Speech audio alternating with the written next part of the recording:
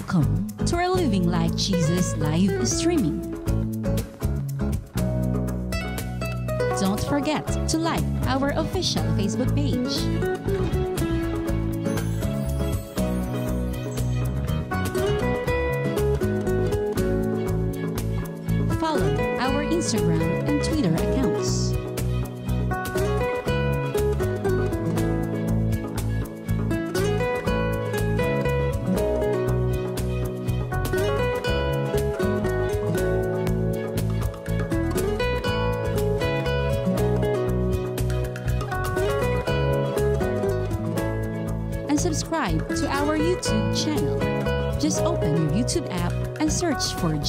Shield Worldwide Ministries. Or simply in the search bar, just type youtube.com slash Jesus is Our Shield Worldwide Ministries. Click the subscribe button now and be updated with the latest Living Like Jesus preachings of the man of God, Apostle Renato B. Carrillo, and also the ministry's events.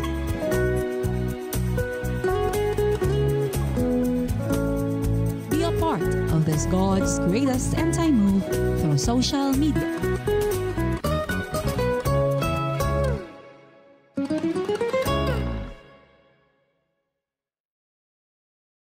Watch tonight's program and be blessed beyond measure. Anong sabi ng Philippians 4.6? Do not be anxious for nothing. But in everything, bring all things and all your needs in prayer. Kaysa mag-alala ka, mamoroblema ka, mabalisa ka, matakot ka, dalhin mo siya sa pananalangin. Anong sabi ng verse 7? And the peace of God that passeth all understanding will rule your heart and your mind. Anong ibig sabihin? Answers prayer ka.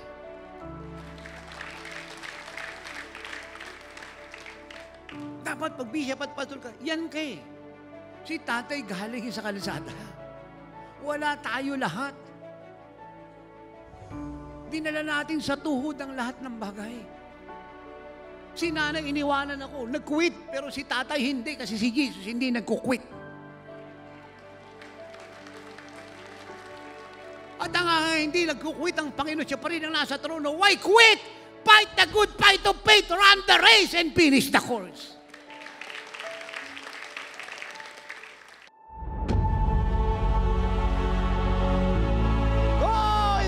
The world and preach the gospel to all creation.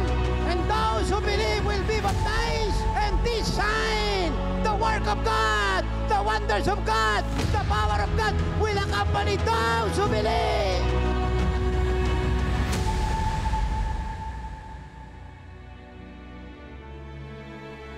Are you ready to receive your miracles and blessings, experience God's glory, and learn His powerful word through our host, Apostle Renato D. Carulli?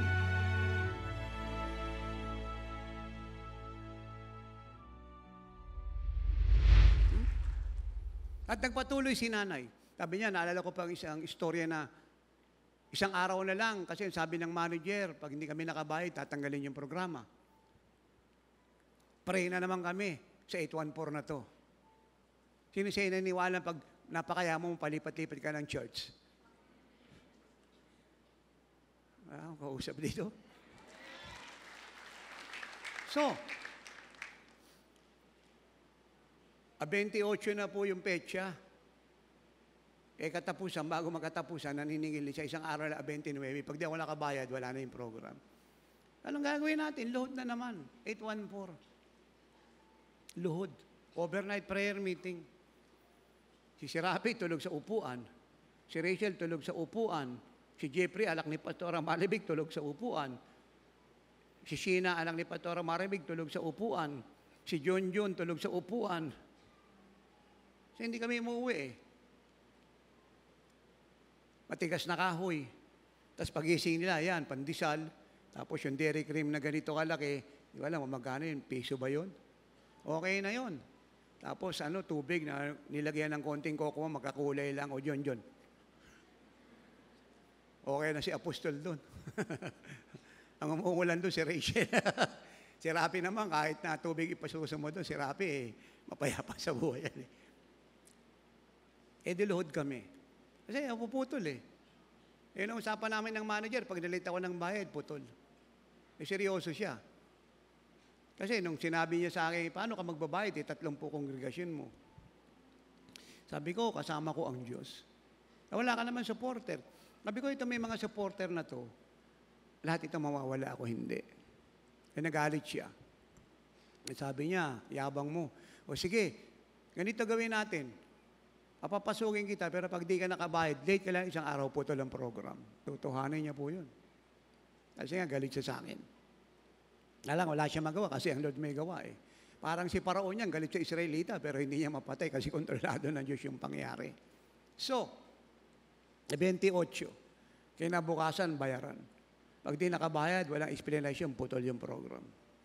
Load po kami, madaling araw. Merong isang taga Pangasinan, taga Malasiki.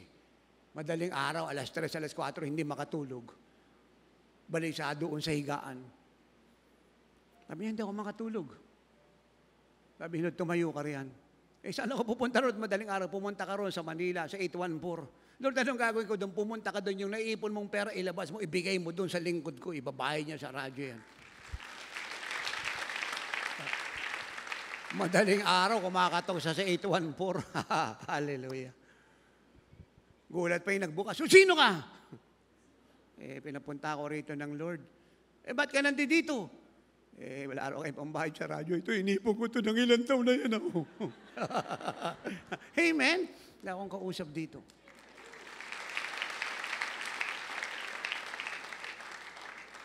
At tapos, may Koreano nag-imbita sa akin, 1992. Sabi niya, punta ka South Korea. Turuan mo yung mga pastor ko doon at yung umalis kay Dr. Jonggit yung mga pastor, turuan mo. Kasi nabibilis ako sa iyo.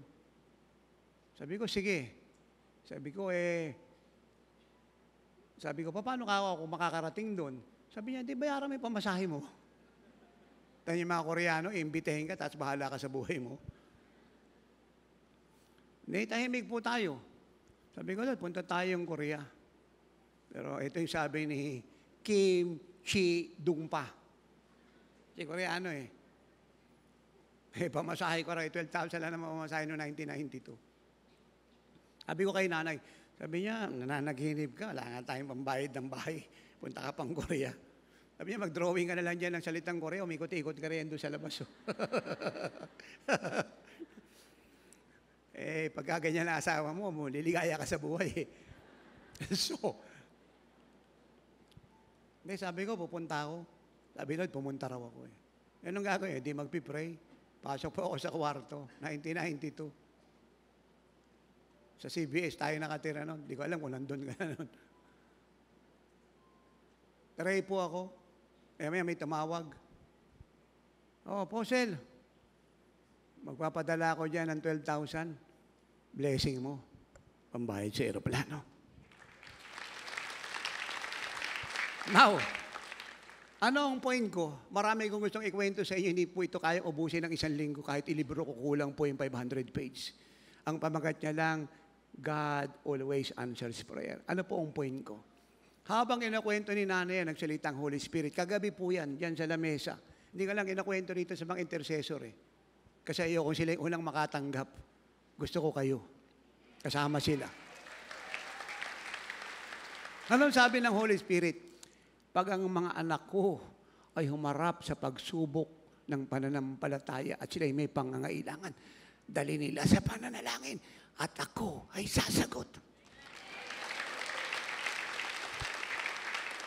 Yun yung, yun yung matagal ko lang sinasabi sa inyo mga anak ng mga pastor at pastora eh. Mag-pray tayo. At kung determinado ka, mag-ayuno ka. Pagkalawin mo yung Diyos. Huwag tayong bu- pailalim sa nangyayari. Huwag tayong pasupil sa pangangailangan.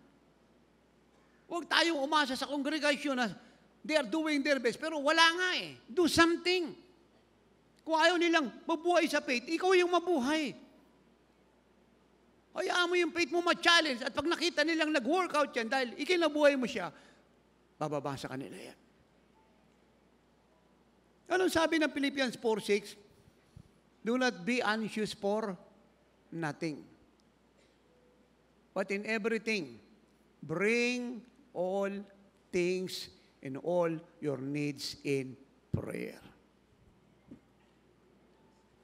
Kaysa mag-alala ka, mamoroblema ka, mabalisa ka, matakot ka, dalhin mo siya sa pananalangin. Anong sabi ng verse 7? And the peace of God that passeth all understanding will rule your heart and your mind. Anong ibig sabihin? Answers prayer ka.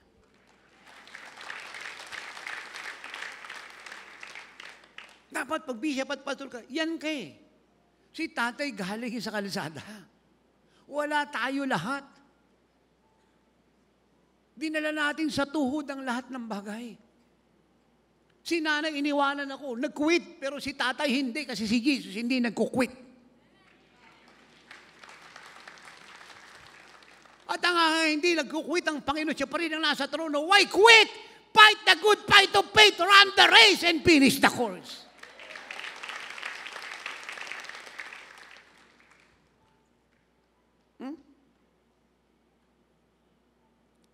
Hindi po titigil ang pananalangin. Titigil lang siya pag nasa langit na tayo. Ang mundo ay puno ng needs. At isa lang ang sagot dyan ng Diyos.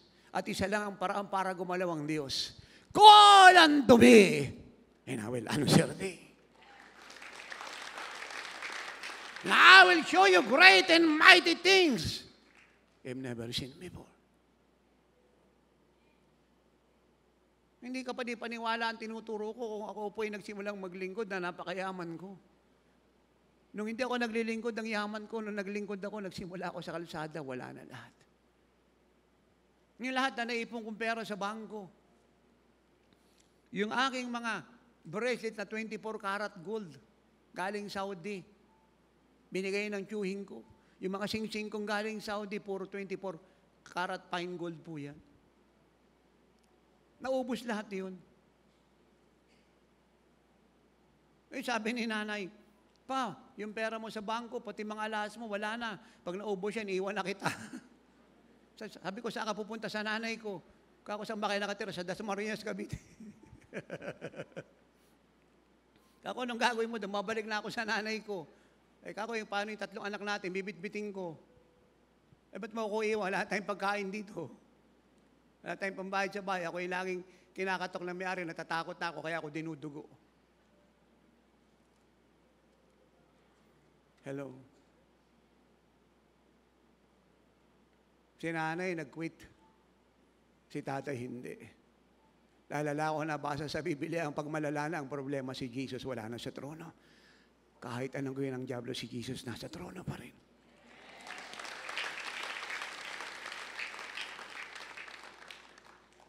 Hello. Nakakasa na lang po kasi tayo kung ani-kanino eh. Ang paliwanag na iba eh, mayaman na Central Church eh. Eh dapat kuha tayo ng kuha rito sa lahat ng pera sa chapters. Kahit di naman tayo magbigay sa TV at radyo riyan at saka sa mga pledge na yan eh. Napoprovide naman yan eh. Kasi kita niyo magmula noon eh. Ang Lord, hindi naman na nagkukulang. Totoo yun. Kaya ng mga kapatid nyo, nangawala na, tuloy pa rin ang ministry at yung production ng TV. Nagmumultiply. Kaya lang, ah, huwag niyo nga kalimutan, sa gitna ng kasaganaan ng ministeryo at hindi ka sumusunod, hindi ka makakaranas. Yun yung huwag mong kakalimutan. Ay kung bakit ka tayo inuutusan lahat na sumunod magbigay, kung ano yung utos ay ating pong kampanan sapagat gusto niya ang buong GSI Shield mula NCR, Luzon, Visayas, Mindanao at buong mundo at dapat ay mayaman.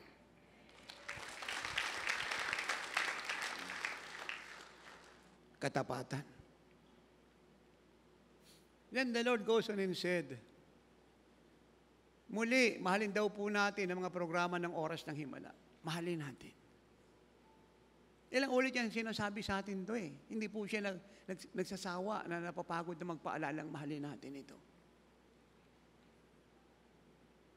Ito yung ginagamit niyang mightily para iligtas ang banusang ito. Dito nakikita ang buong kapuspusan ng buhay, kalawalati, ang kapangyarihan, mga himala ng Panginoong Yesus. Kahit bumiyahe si tatay, linggo-linggo, hindi ka matatapos Pilipinas. Pumunta tayo ng television at radyo, 24 hours natin yan, kunin natin yung malalakas na TV network na yan. Ang Pilipinas, mapapadali eh. Ang sabi ko, mapapadali ang bansang ito. And the Lord goes in and said,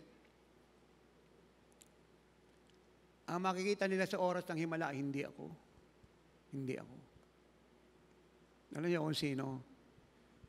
Ang Panginoong Isus na sumasa akin na siyang walang tigil na gumagawa ng maraming himala sa oras ng himala.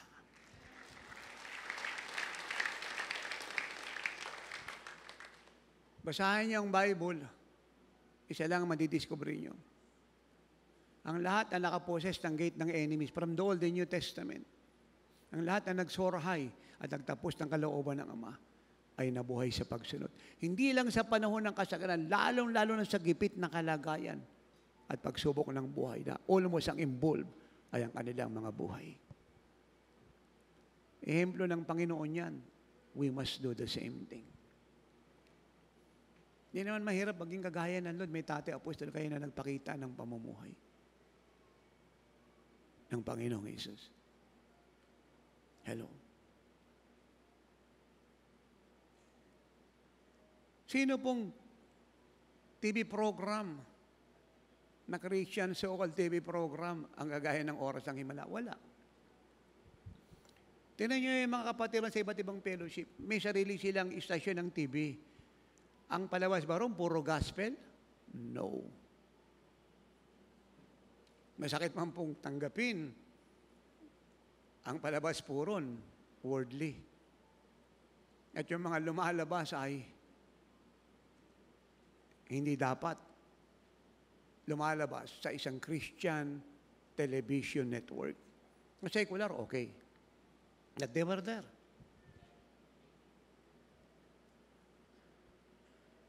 Sino pong TV program sa bansang ito ang walang advertisement?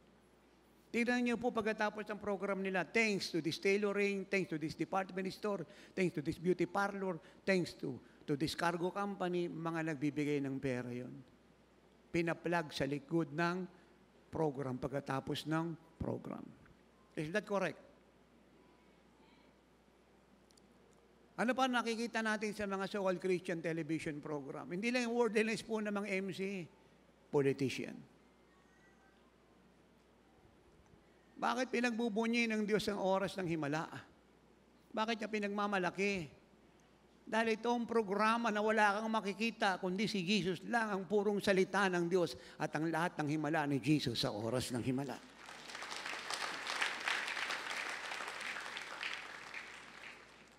Malinaw ko na intindihan yun.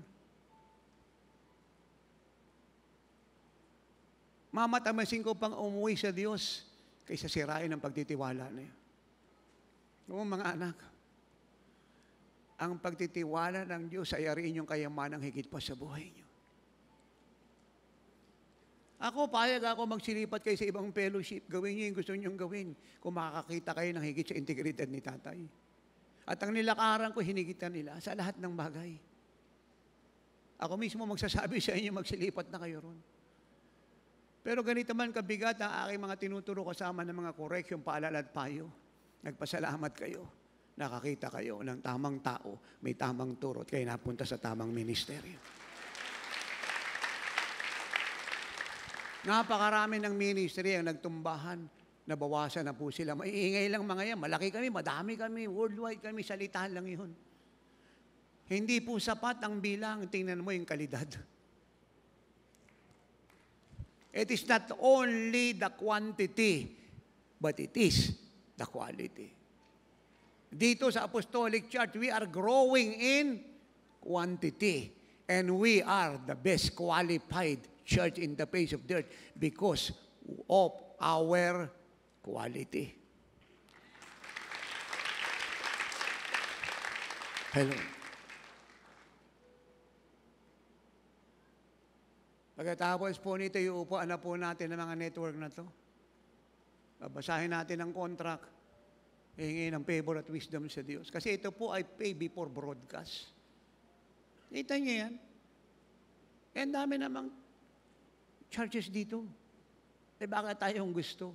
Kasi ang Diyos ang may gawa. Hindi ibinibigay ng Diyos sa kanila ang television dahil hindi sila pagkatiwalaan. Tayo ang qualified. At hindi lang yan. Ano ituturo nila ron? Ang kailangan ng buong Pilipinas, hindi theology, hindi theory, si Kristo yung kanyang miracles. Hindi kailangan ng may cancer ng bulag ng pipi, ng baldado, ng may insomnia myoma, ng may Parkinson's disease, lupus, ang hematology, ang soteriology, ang pneumatology, ang eschatology, ecclesiology, ano pang theology, the study of God. Ang kailangan nila ay si Kristo, gumaling, lumaya, madeliver, yung gawa ng Diablo, mawasak.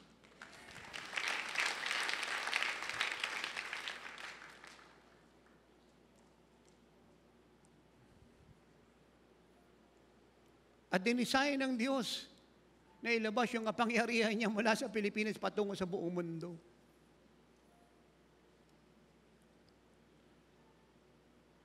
Ito po sa kamay ko ay nagpapaabot po ng coverage ng Apollo TV5 International.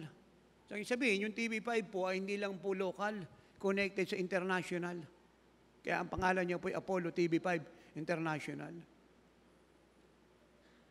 At lahat po ng turo ko rito sa Pilipinas ay tatransfer po nila sa bawat bansa alinsunod sa coverage po ng Apollo TV5 International.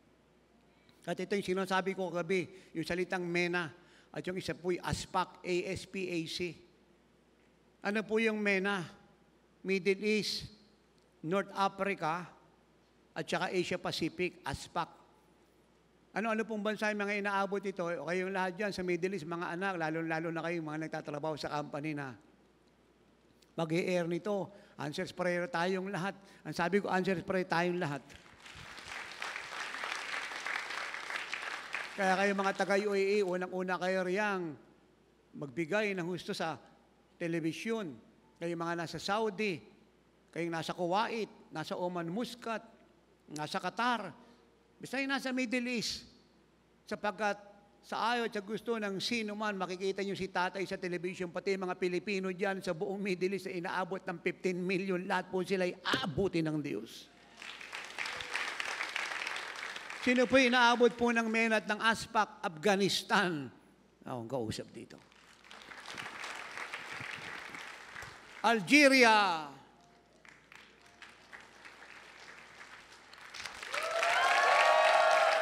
Bahrain. Chad. Cyprus. Djibouti. Egypt, Iran, Iraq, Jordan, Kuwait, Lebanon, Libya, Malta, Mauritania, Oman, Qatar, Saudi Arabia, Somalia, South Sudan, Sudan, Syria, Tunisia, United Arab Emirates, United Arab Emirates, Dubai, Abu Dhabi, Sharjah, Ajman, Fujairah. May tao ba rito? Alin? United Arab Emirates! Yemen, West Bank, Gaza, Palestine, Papua New Guinea.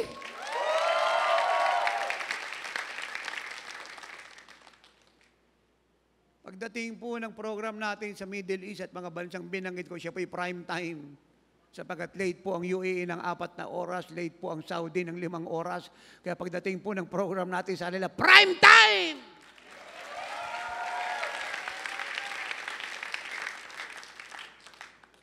Uupahan na po natin to. Hindi na po problema yung bayad dito kasi hindi, hindi ka naman makakapagligtas malibang gumasta ka ng pera. Ako po yung magtatanong isang tanong. Meron po ba kayo na balita ang may negosyo na walang puhunan kahit magkano? Hindi sila sumasagot. Wala. Anong sabi ng inchik? Wa- Walang puhunan, lang tubo. Late puhunan, late kita. Walang customer, walang puhunan, lugi. Isa pong reason ng wealth transfer is to finance the end-time worldwide harvest of souls. Kayo, kinakausap namin kayo mga anak, kayong pinayaman ng Diyos. Huwag niyong limitahan ng Diyos. Give it away. Kung may milyon ka ngayon, wala ka pang nahawakan, believe me. Wala ka pang nabibilang. Sumunod kayo ng sumunod, huwag niyong tingnan yung hawak niyo, yung kaha, yung bank account niyo, i-release yun ang i-release yan. Wala ka pang nahawakan. Ang ibabalik ng Diyos sa iyo ay mind-blowing at hindi mo siya pagpapaguran. Suddenly, the wealth of the wicked will be transferred by God to you.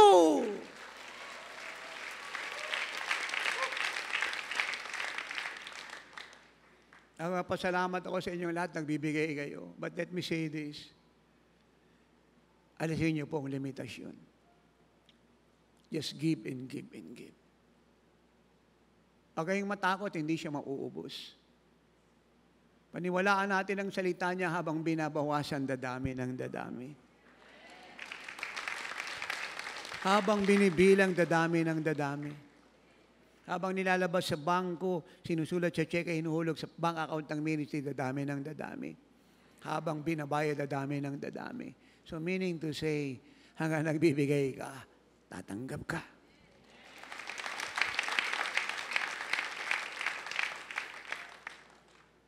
Uupuhan na po natin to. Kapahingahin ko lang po si Apostol Renato Carillo Jr. Nakita niyo naman po yung pagod na yan eh. Kita niyo, bigla siyang na-slim. yan po ang ministry. Eh mga pastor na tumataba, hindi napapagod yun, walang ginagawa yun. Pahingahin ko lang po ng ilang araw itong aking bulsong anak. Dahil yung karunungan niya po ay higit kay Joseph at saka kay Daniel. Concerning technology. Dalawa po ang pinorte days sa kanya. Kaya lang sabi na nag-40 days, dinalaw ko na lang ipag-ayuno ko raw ang man of God ang dalawang 40 days. At ang reason, ibibigay na lang sa kanya yung understanding sa technology. At kita niyo, pinakikinabangan natin pati ng mundo.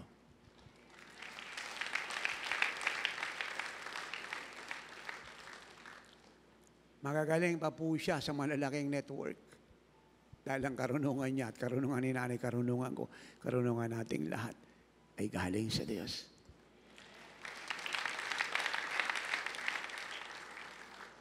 Wala pa kayong nahahawakan. Wala pa kayong nakikita. Huwag kang matawang may milyon ka na. Ibig na magpasalamat ka sa kanyang kabutihan. Pero gaano man ang milyon mong hawak, wala ka pang nahawakan. Barya pa lang yan. Sumunod ka, doon ka makakakita ng talagang kayamanan galing sa Diyos.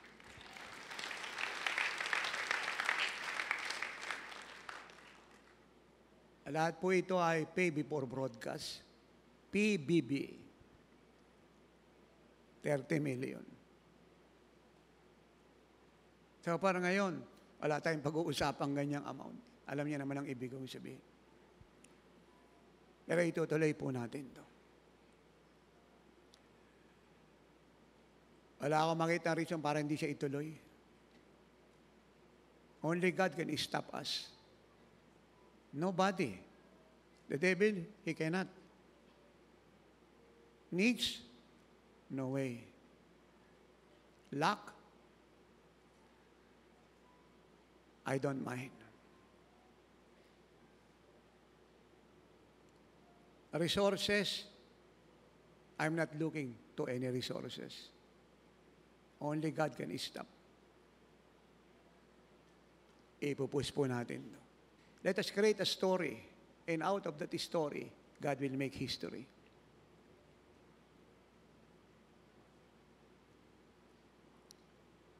walang tao sa bansang ito mula sa pinakamataas na katungkulan ang hindi makakabalita ng oras ng himala.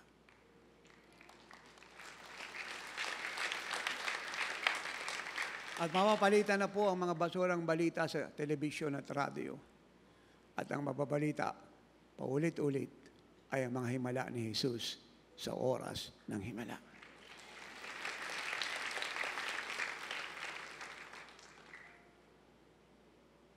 Hindi ko na po kinakailangan magpa-pledge sa inyo mga anak. Let us all be honest to God. Ayoko na rin balikan pa yung kakulangan ng mga ano kong pastor, pastora. Marami sa inyo yung nagbibigay sa TV at radio. Pati kayo mga nasa abroad. For me, I leave it to God. Let us move forward. Mabait ang Ama.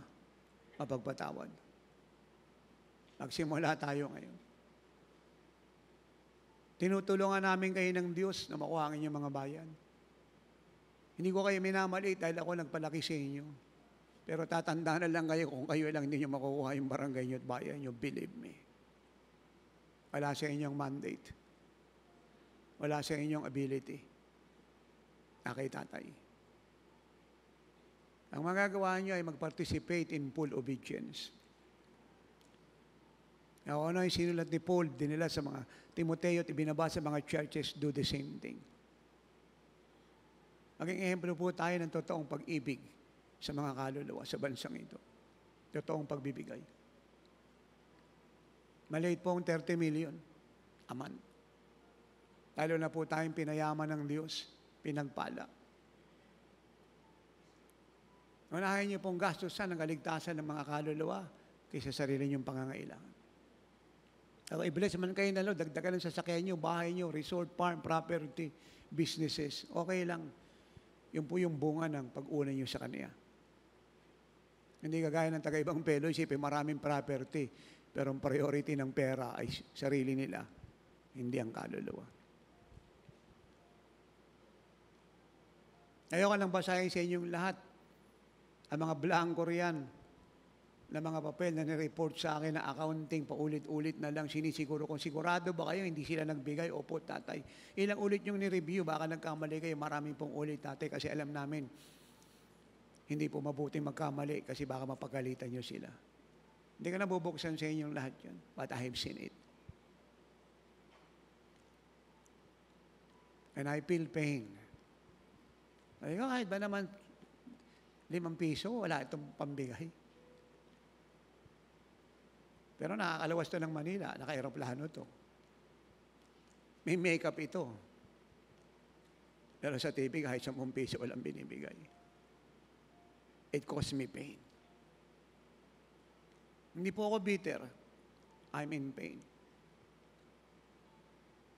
Nakakalungkot. Ito walang binigay sa anniversary. Pero naka-nekta ito, nakabarong to, naka-Amerikana to.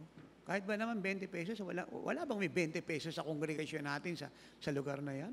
Walang binigay ito sa anniversary kahit sa pera. Ako hindi ko hinahanap pera nyo eh. Dahil hindi sa akin napupunta yan. Hindi ako interesado sa pera nyo. Hindi ako nagtatanong kung magkano pera nyo, kung magkano sweldo nyo. Alam nyo po yan.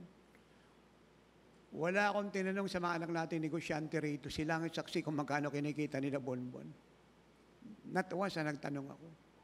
That is out of my business. Ang sinasabi ko lang, be faithful. Hindi ako interesado sa pera nyo. Tinuturoan ko lang kayo maalis sa accountability. Yan ang trabaho ng tatay. Protektahan kayo, mapagpala kayo. Kasama ng paalalang be honest, be serious, be sincere, be righteous. Ang isa, bakit ako ganito ka-strict? Utos ng Diyos yan eh. Turuan mo silang sumunod. Nagliligtas po tayo. Ayokong mapagpala ang bansang ito ang buong Shield na ikaw hindi napapagpala. Ayokong mawala ka rito.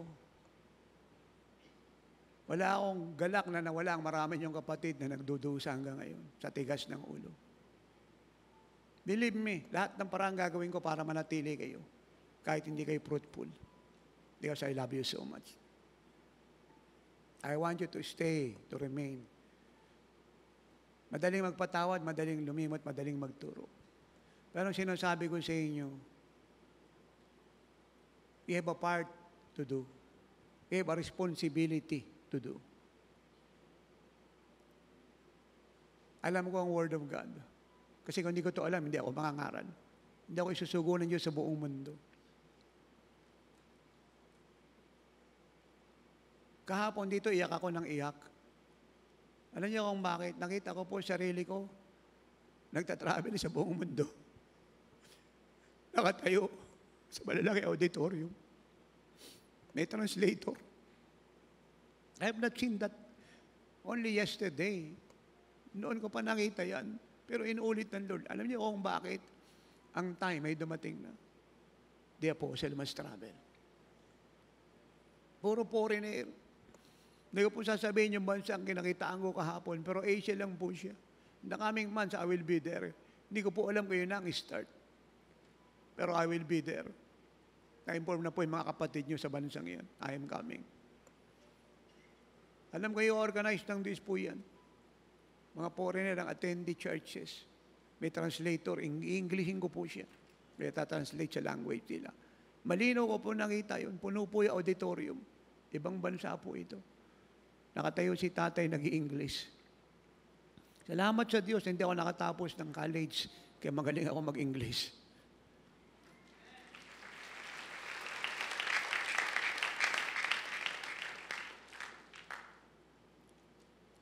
At alam ko ang ibig sabihin nun, it takes a lot of money. Dahil kung anong presentation ginagawa natin dito, dapat ganun sa ibang bansa. Kung ano yung worship dito, dapat madala yan doon. Eh, hindi mangyayari kung ang bibit-bitin mo lang doon, isa lang o dalawa. Dapat full force ang Living Like Jesus worship team. It takes a lot of money. Pero hindi ko po problem yun. The Father promise not only He will provide, He already provided. We have to believe Him and obey His command.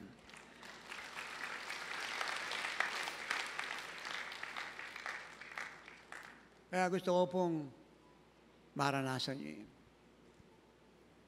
Hindi lagi kayo nag-aalala kung sasama kayo sa mga event na ito. Hindi living like Jesus yun. Kung ano man ang i-announce na activity natin sa buong ministry, na-inform ka, automatic yun, you will be there. Kasi hindi ka na naman problema sa babayaran. Because you are blessed. Sa awa ng Diyos, sa leading ng Holy Spirit, pinipicture ko po sa inyo yung comparison kung bakit maraming nawala ng ministry, TV, radio. At kahit meron po sila ngayong ginagawa eh, doon papasok yung grace. Pero hindi dapat abusuhin yun. Pero accountability, pagharap mo sa Lord, hindi po ganun.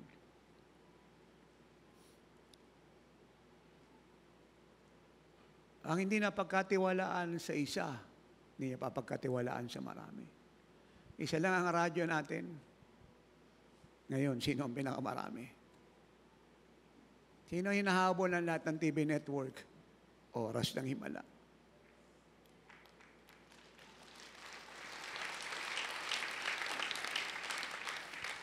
Buhay natin yung ating inalay para yung pagtitiwala ng Ama ay huwag masira. For me, pulpil na po ako ron. Na yung pinagkatiwala sa akin. Hindi na wala. Dalangin ko na itimo ng Diyos sa puso niyong lahat ito. Lalo na sa ating mga anak na nagpapastor at nagpapastor. Pati sa mga future leader. Alam ng Diyos ang lahat.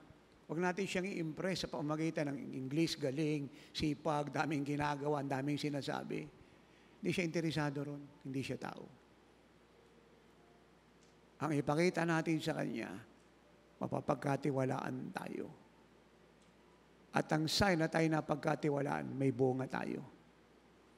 At ang bunga na yan ay proof na tayo po'y nagpakatapat sa Kanya. Ano man ang hinarap natin, ano man ang mangyari. Yun ang nakakalugod sa Ama. Yun ang ehemplo ng Panginoong Heso Kristo. Kaya GSI Shield Worldwide Ministries, maging ehemplo po tayo sa church sa buong mundo. Nauna sa atin o kasabay natin o susunod sa atin, maging ehemplo po tayo. Hindi tayo nakiki, nakikipagkompetensya sa mga man of God saan man silang sulok ng mundo nandoon. I have my own anointing, my mantle, my ministry, I am an apostle. Period. At kung bakit sinasabi ko maging ehemplo tayo dahil nasa atin ang pinakamataas na mandate o mandato. At yun po ang pinakariso kung bakit dumating si Jesus sa mundong ito upang tayong lahat ay hindi lang iligtas, pagalingin, palayain, pagpalain, kundi lahat ay gawing kagaya niya. Yan po ang pinakamataas na mandate na matatanggap ng isang lingkod na Diyos na naglingkod sa Kanya noon ngayon hanggang tayo po ay marapture at siya po ay makasama habang panahon.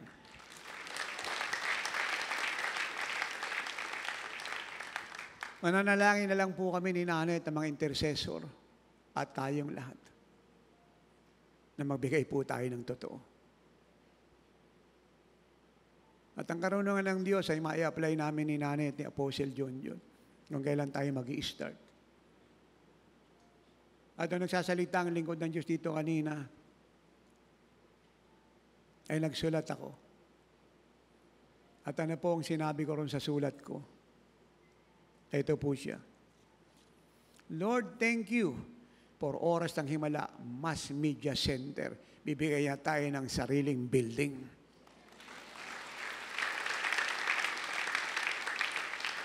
Hindi niya lang tayo bibigyan ng sariling building. Lahat ng mamahaling technology sa buong mundo ay gagamitin natin. At hindi lang po yan. Ngayong araw na ito at oras na ito ay mananalangit. Ako at kayo lahat ay sasang-ayon. Sa susunod na araw, magpapadala siya ng maraming magpo-full time para makatawang ng mga manggagawa para ang ating 24 hours na paglilikas sa buong mundo.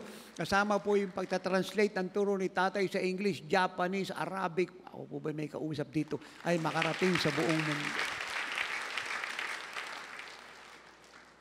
Yan po natutuhan ko sa Lord at tinuro ko kay nanay sa aming mga anak at mga apo. Sa aming mga manugang sa inyong lahat. Dali ng lahat ng bagay sa panalangin. Sabi niya, humingi kayo at kayo bibigyan. Tumawag kayo at ako'y sasagot. Humalap kayo at kayo makakasumpong.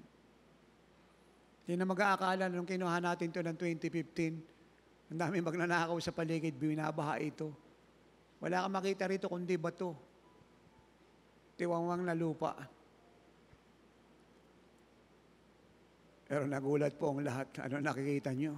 Si Rubobel, what you see now, The glory of God rests in this place.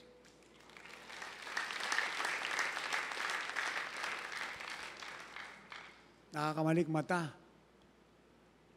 Napuno natin ang kulang-kulang na apat na libong square meter na lupang ito ng building mula sa wala.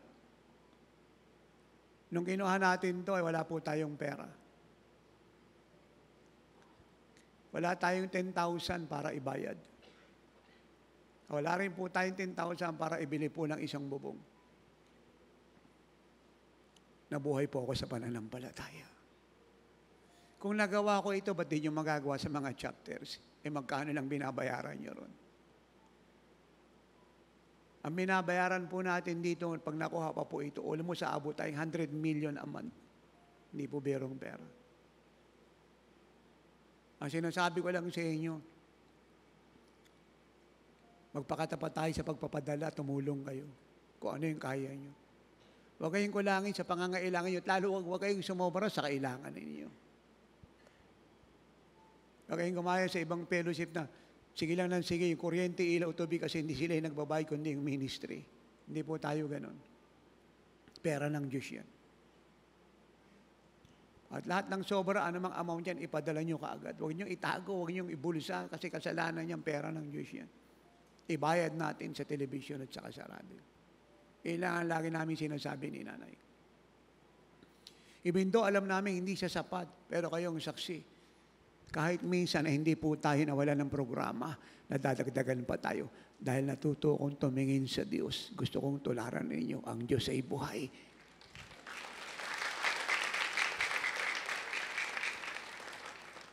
Ng dwelling place, natatapos na po siya. Kukumputin po natin kung naka 200 million na po tayo o below or above. But one thing I know, hindi po tayo nakakuha po rin ng 3 milyong buwan-buwan para ibayad sa dwelling place. Alam po yan ng mga architect natin, ng mga engineer natin, alam po nila lahat yan. They work there. Sila po yung pinagkatiwala, alam po nila lahat yan. Nakita nyo nanawagan sila sa inyo. Sila po yung nando doon, alam nila lahat yan. Nakita nila ako'y huling dumalaw doon na umiyak ako. Sabi ko, Lord, mahaba na pong panahon namin tinatayo to. Bababa ka na. Why prolong the building if we can finish it tomorrow? We don't give up. Dapat pag leader ka, pastor ka, ano man ang pinapastoran mo, marami o konti ang faith mo buo. Maaring matapang ka sa pulpito pero pag nasa harap ka ng Lord, para kang batang maliit, marunong kang magpalaho ng iyak. Marunong kang umamin na kailangan mo siya. Marunong kang umamin na kung wala siya, wala kang magagawa. Marunong kang tumakbo sa kanya. Pag leader ka, hindi mo pinakikita ang kahinaan mo sa pulpito. Pero pag sa harap ng Diyos, kahit buo ka, kumpleto ka, matapang ka, pinakikita mo sa Kanya, mahina ka, kailangan mo siya. Dapat ganyan ngayong lahat.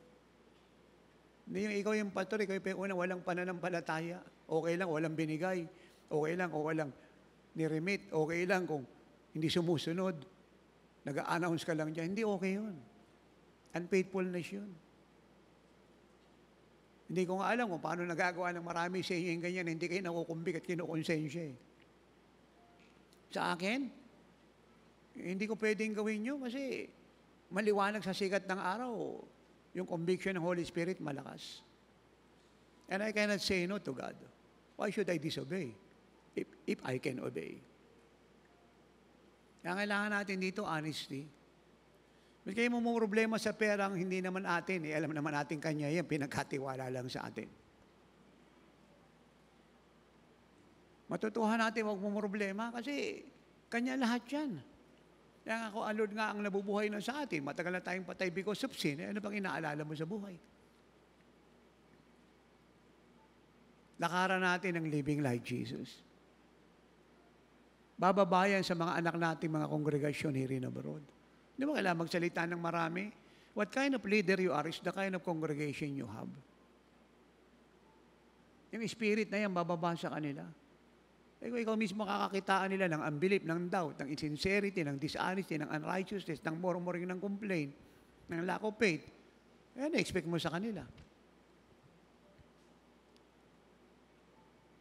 Kita niyo na mag-iyakan yung sampung espiya, nagmumurmur, nag-iyakan na rin yung buong camp ng Israel. Kasi binaba ng sampung spy, eh, yung sampung leader sa ten tribes na yan. Yung kanilang unbelief. Eh di sumama yung lahat ng member nila ron. Eh 12 tribes yan. Buti na lang meron dalawang different spirit eh. At yung po yung dalawang tribo na hindi sumama sa sampu na nabuhay sa unbelief. Kasabay ng unbelief, murmuring eh. Sino po yung may different spirit? Si Caleb, tsaka si Joshua. Anong sabi nila para pray? Anong iniiyak ninyo? Ba't kayo umiiyak? Binigay ng Diyos sa atin ng promise land. Let us go up and possess the land. Ano sabi ng sampo? Hindi, mahiganti sila. No, mas makapangyar ang Diyos natin. Let us go up. Let us possess land. Binigay ng Diyos to sa atin. Eh, sino po nakapasok sa promise land? Hindi yung dalawang tribo lang. Kaya pag pastor ka, dapat nag-iisip ka. Hindi pwede rito emotion. Hindi pwede rito yung pagandahang babae, pagandahang lalaki. Mabuti kung magandang babae ka kasi wala namang anak ang Diyos na pangit. Buti kung pogi ka, mas maganda wala namang anak ang Diyos na pangit. Pero pagdating sa paglilingkod, pamumuhay po ito, katotohanan ito. Gawin nating makatotohanan ito sa harap ng Diyos at sa harap ng pamilya natin at sa harap ng pinapastoran natin upang malaman ng Diablo, we are an overcomer. We are victorious forever. And in this world, we are like Jesus.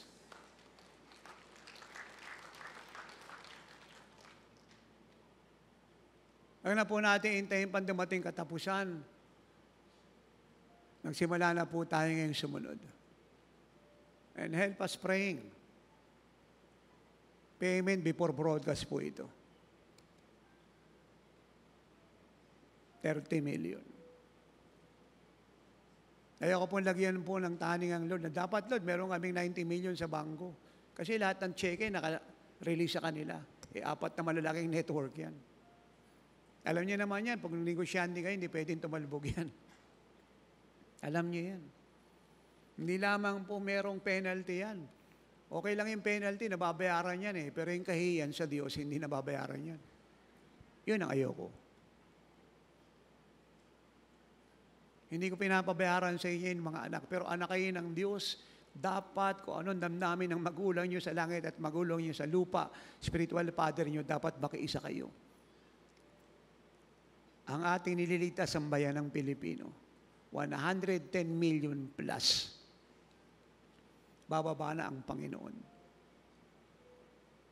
At huwag kayong magtaka na lagi ko nagpapaalala, Lalo na kayo umatin ng Anointed to Get Wealth Business Conference na pinagpalaan ang Lord. Don't limit God. Kayo po yung unang magbigay. Huwag tayo magsabing, ito lang yung pledge ko a month. No. Yan lang ba yung gusto mong blessing mo? Do it. I-priority mo ang kaligtasan. Yan ang hinahanap ng Diyos. Maniwala ka sa akin. Lalagpasan ng Diyos sa maraming churches patungkol sa wealth ng wicked na bitbit ng prosperity angel.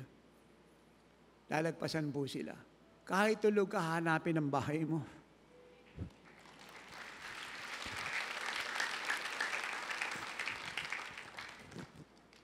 Pag sinabi ko pong damandam ako, hindi ko po sinasabing naramdaman ng katawan ko. Hindi ako nabubuhay sa feeling. The just shall live by faith, we walk by faith and not by sight. Gumagamit lang po ako ng term na madali yung intindihin.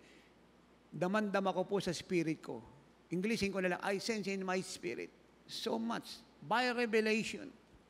Any moment, the wealth will be transferred.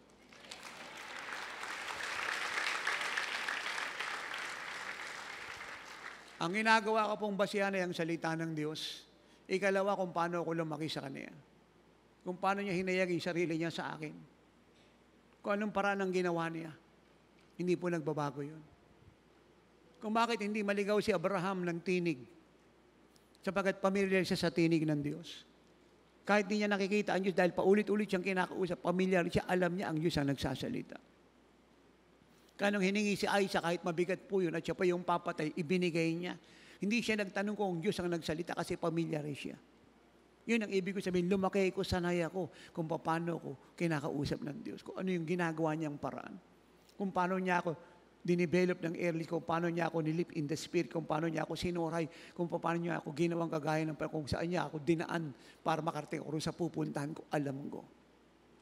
At katotohanan ang sinasabi ko sa inyo, Damandama ko sa spirit ko, suddenly the wealth of the wicked will be transferred.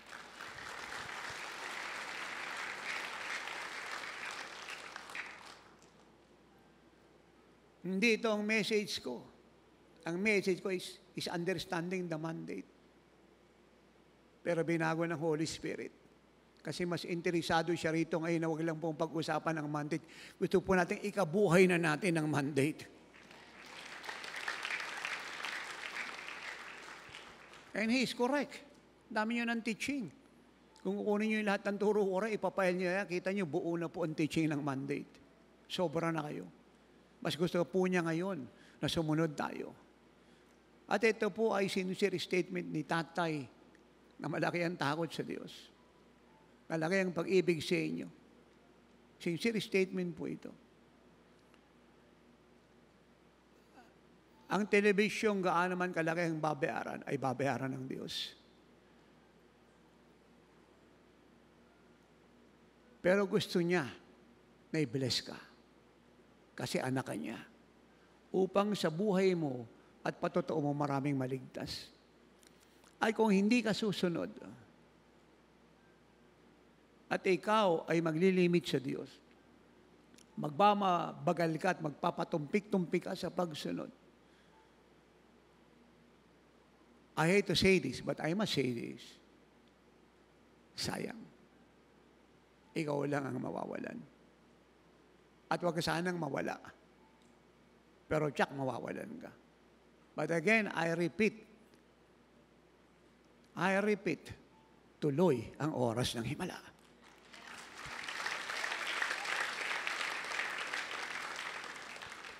Ang exaltation ng ministry ito ay hindi titigil.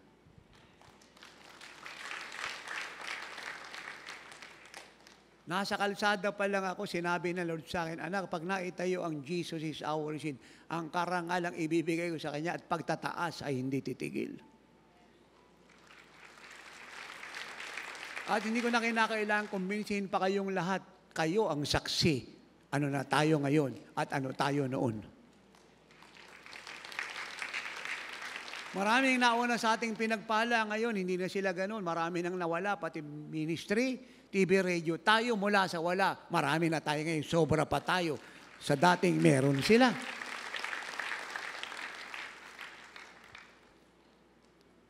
And the Father said to me again, as I testify for my son Jesus, I will testify for you and for Jesus is our shield, worldwide ministries. Huwag po nating sayangin mga anak ang opportunity ito. Matutuhan na po natin ang katotohanan kahit di tayo nagbibigay, walang gawain ang ministry ito na natigil. Walang radyo, telebisyon ang tumigil, tuloy po siya dahil ang Diyos ang mayari. Pero ikaw ay nawala ng biyaya. Ay kung tayo po yung magbibigay, huwag tayong maglimita sa Diyos. Be honest. At huwag tayong matakot ng parang nawalan kasi binigay mo lahat na kahit kailangan mo siya. Ba't ka matatakot? Nangako siya. Magbigay ka at ikaw ay bibigyan.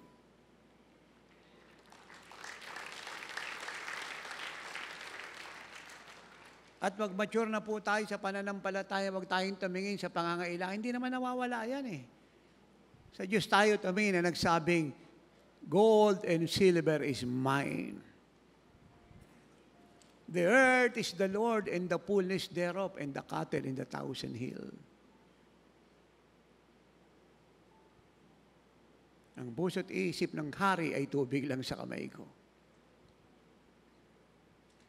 Nothing is impossible with me. Behold, I am the Lord your God. Nothing is too hard for me to do. Sabayan niyo po ang faith namin ni nanay.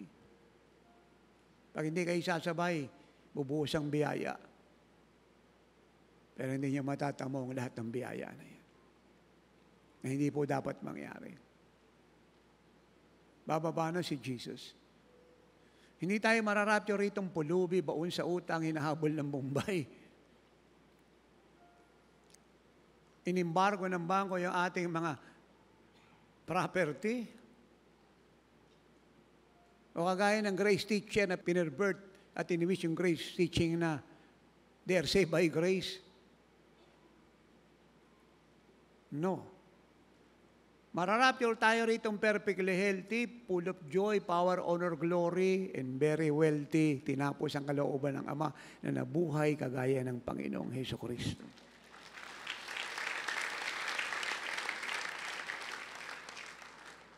Hindi lang po tayo may narating mga anak. Hindi lang malayo ang narating natin, hindi na nila tayo mahabol.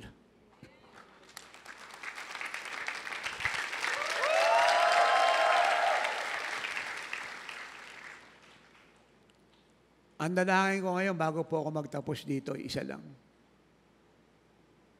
Makalimutan nyo na yung doubt nyo at unbelief. Ibuo nyo lang po yan, ilibing nyo, para na pong mabuhay pa yan.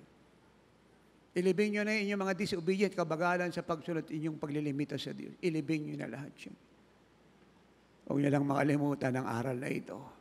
Sapagat ang aral na ito ay Sinabi ng Diyos ngayon sapagat ibig niya na pag siya'y nagbuhos ng biglaang pagpapala, makatanggap kayo.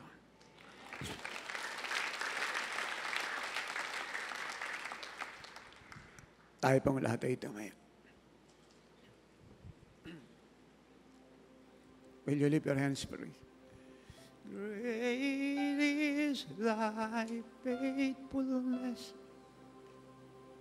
Great is thy faithfulness.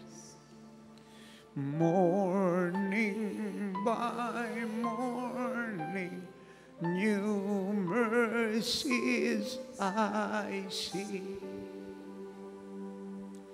All I have needed thou and hast provided. Great is thy faithfulness, Lord, unto me. Summer and winter, springtime and harvest, sun, moon, and star in their courses above. Join with all nature in manifold witness to thy great faithfulness, mercy, and love.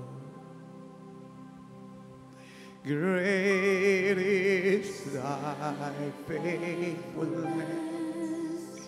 Great is thy faithfulness. Morning by morning, new mercies I see. All I have I God provided.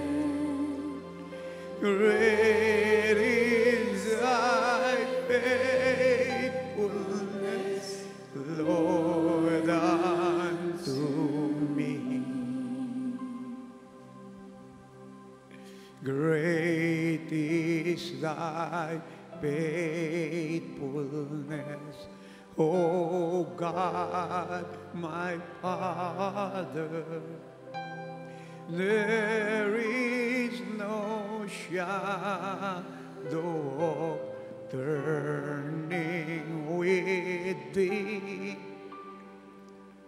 Thou changest not thy compassions, they fail not. As thou hast been, thou forever will be.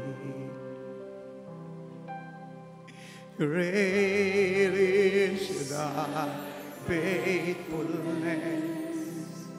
Great is thy faithfulness. Morning by new mercies I see. All I have needed, provided. Great is thy faithfulness, Lord, unto me. As you bow your head and close your eyes,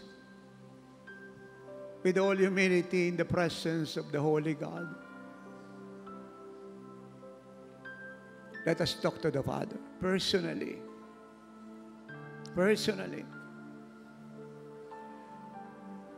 Alam ko meron kayong gustong sabihin sa Kanya, say to the Father, patungkol sa inyong katapatan sa Kanya. Patungkol sa pagtitiwalang ibinigay namin sa inyo, kayong nakakaalam, talk to the Father. May babaguhin ba kayo? May papanatilihin ba kayo? May itatama ba kayo? May aayusin ba kayo? Kayong nakakaalam. Talk to the Father.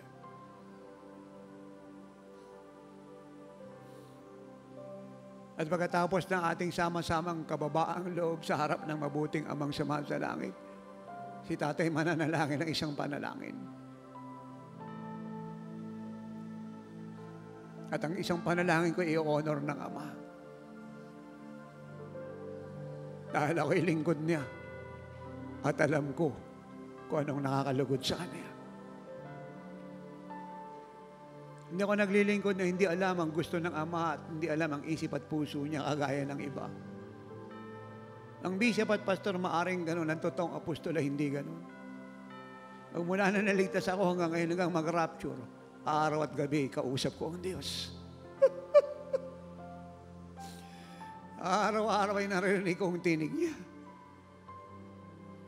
Hindi ako nakatapos ng koleyo pero napakarami kong librong sinulat. May sinanay nakapag-aaral si Apostle John John. Later na nga lang na siya po ay nakagraduate. But we reach the world. Ang nakikinig po sa atin ay mga professional kilala.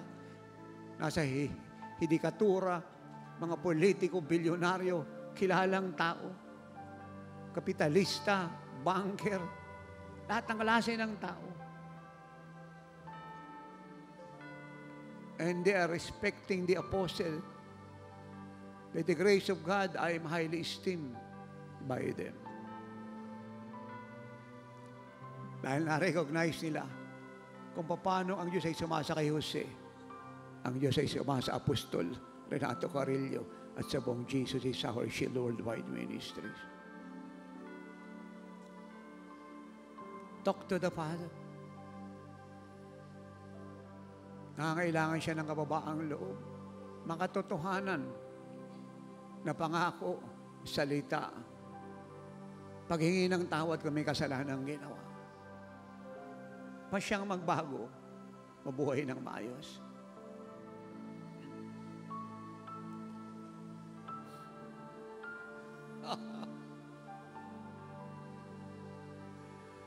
Pag may corporate obedience, merong corporate wealth. And that blessings will be turned into wealth. Jesus.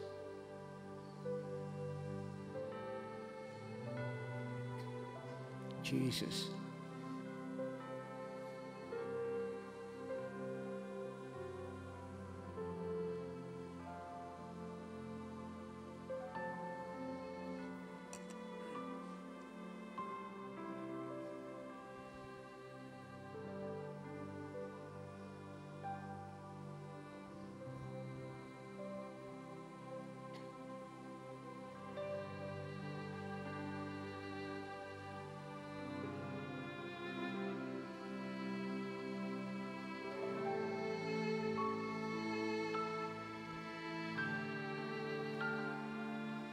Po ang Word of God ang nagpapakumbaba ay tataas.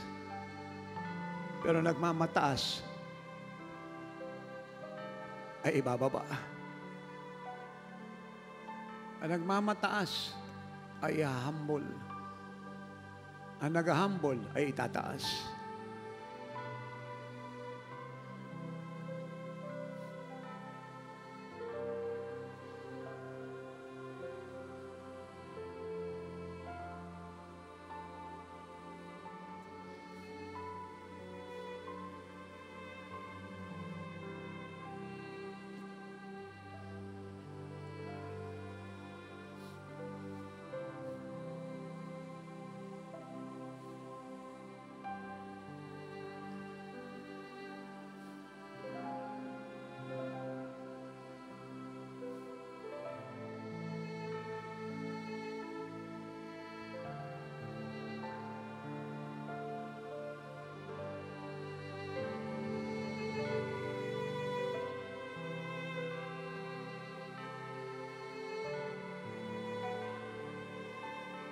Ang mga totoong anak ng Diyos ay napapagkatiwalaan dahil sila ay tapat.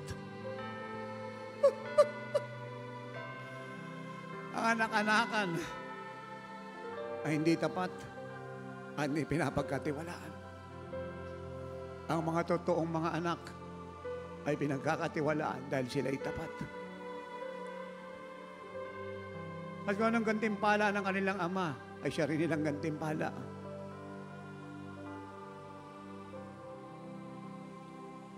Ang ama ay marunong magpala. Hindi siya lumilimot sa ating ginagawa. Lahat ay naalala niya.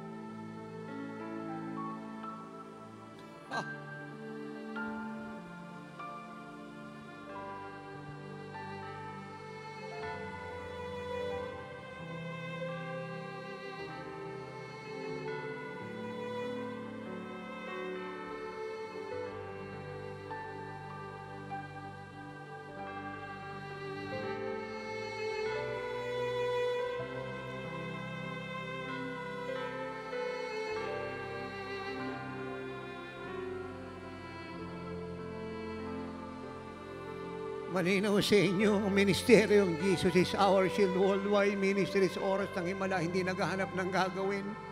May pinagagawa ang Diyos sa atin. Maraming fellowship ay gawa lang ng gawa kasi walang pinagagawa ang Diyos sa kanila. Sila humahanap ng gagawin. Kaya kung ano yung pinagagagawa, tayo ay merong mandatong tinanggap. May inuutos siya sa atin, meron siyang pinagagawa sa atin. Ang sabi niya, anak, itayo mo ko ng totoong iglesia. Kasi maraming iglesia ang nakatayo pero hindi naman totoo. Ginamit lang pangalan ko, nagpayaman lang sila. Pinagsamantalahan ng mga kawan. Dinaan sa prayer yung mayayaman para magkaroon sila ng biyaya at pera at material na bagay. Itayo mo ko ng totoong iglesia. Turuan mo silang mahalin ako. Paglingkuran ako. Sambahin ako sa espiritu at katotohanan at sundin ang mga utos ko.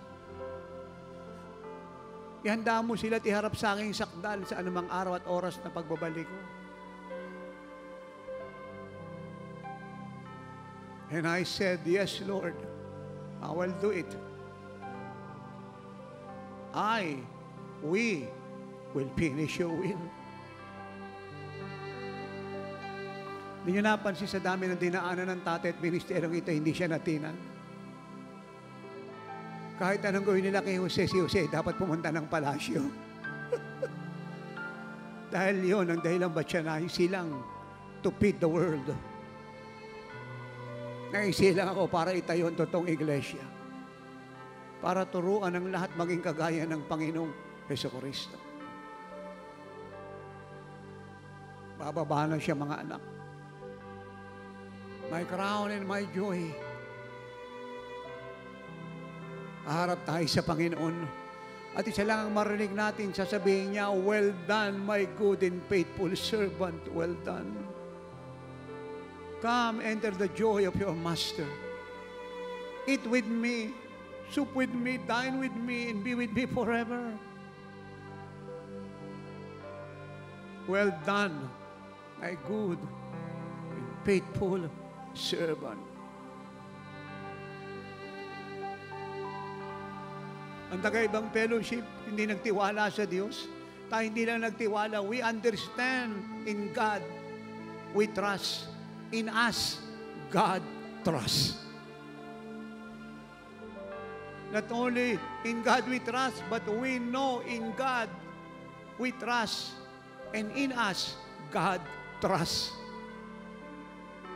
Hindi lang tayo nagtiwala sa Kanya, nagtiwala siya sa atin. Jesus. Taas niyo po yung dalawang kamay. Kung nasabi niyo na po sa mabuting amang Diyos ang gusto niyong sabihin na, na ipaabot niyo na po ang gusto niyong ipaabot, ito ang isa kong panalangin. Ama, narinig mo po ang aming awit. Dinideklara namin ikaw po itapat na Diyos. At yun ka nga. Ito lang po, Ama, ang isang panalangin ng iyong anak, ng iyong apostol. Pour out the spirit of faithfulness. Receive it.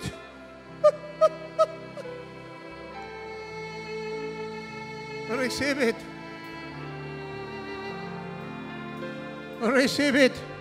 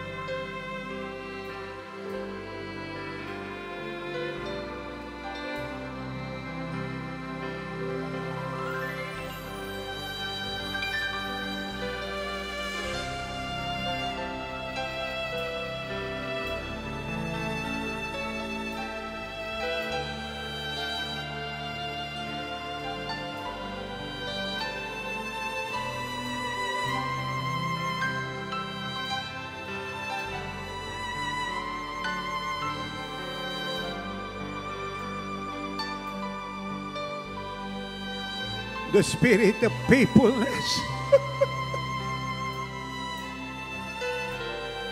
the spirit of God, the spirit of faithfulness.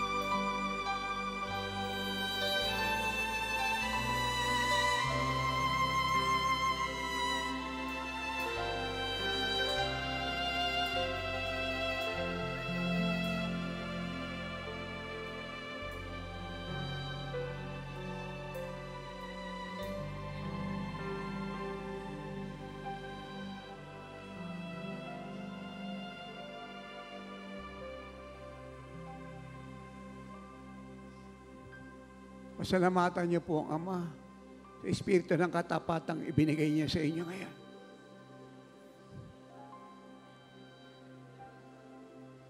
At bago ko kayo pagpalain, God said,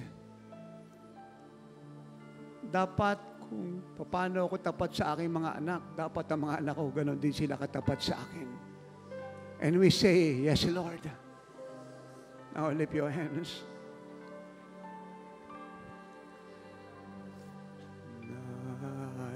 Believe in miracles.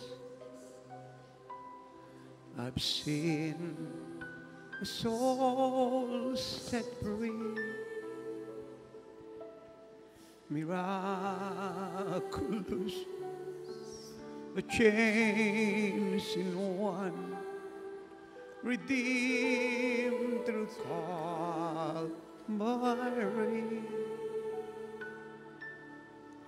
I've seen the lily push its way into the starborn star.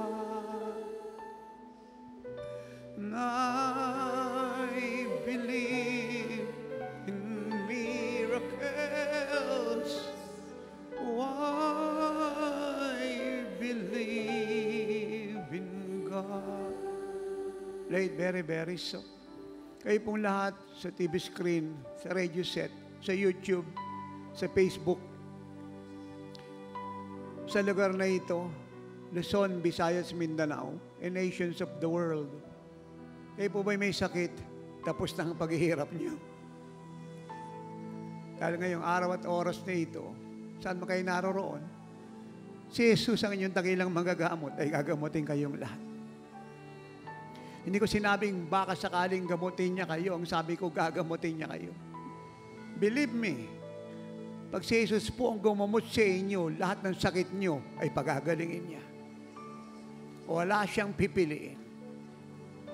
Kaya taas niyo po inyong dalawang kamay, sabihin niyo ito ng buong puso. Amang Diyos na mabuti at dakila sa lahat. Eto po ako. Nagbabalik loob sa iyo.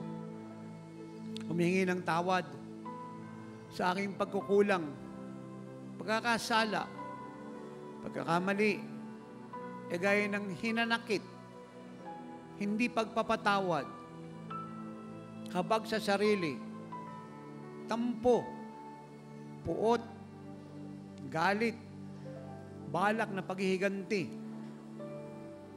paninirang puri, pagsisinungaling, aginom ng alak, paninigarilyo, pagsusugal, paniniwala sa hula, tarot reading, horoscope.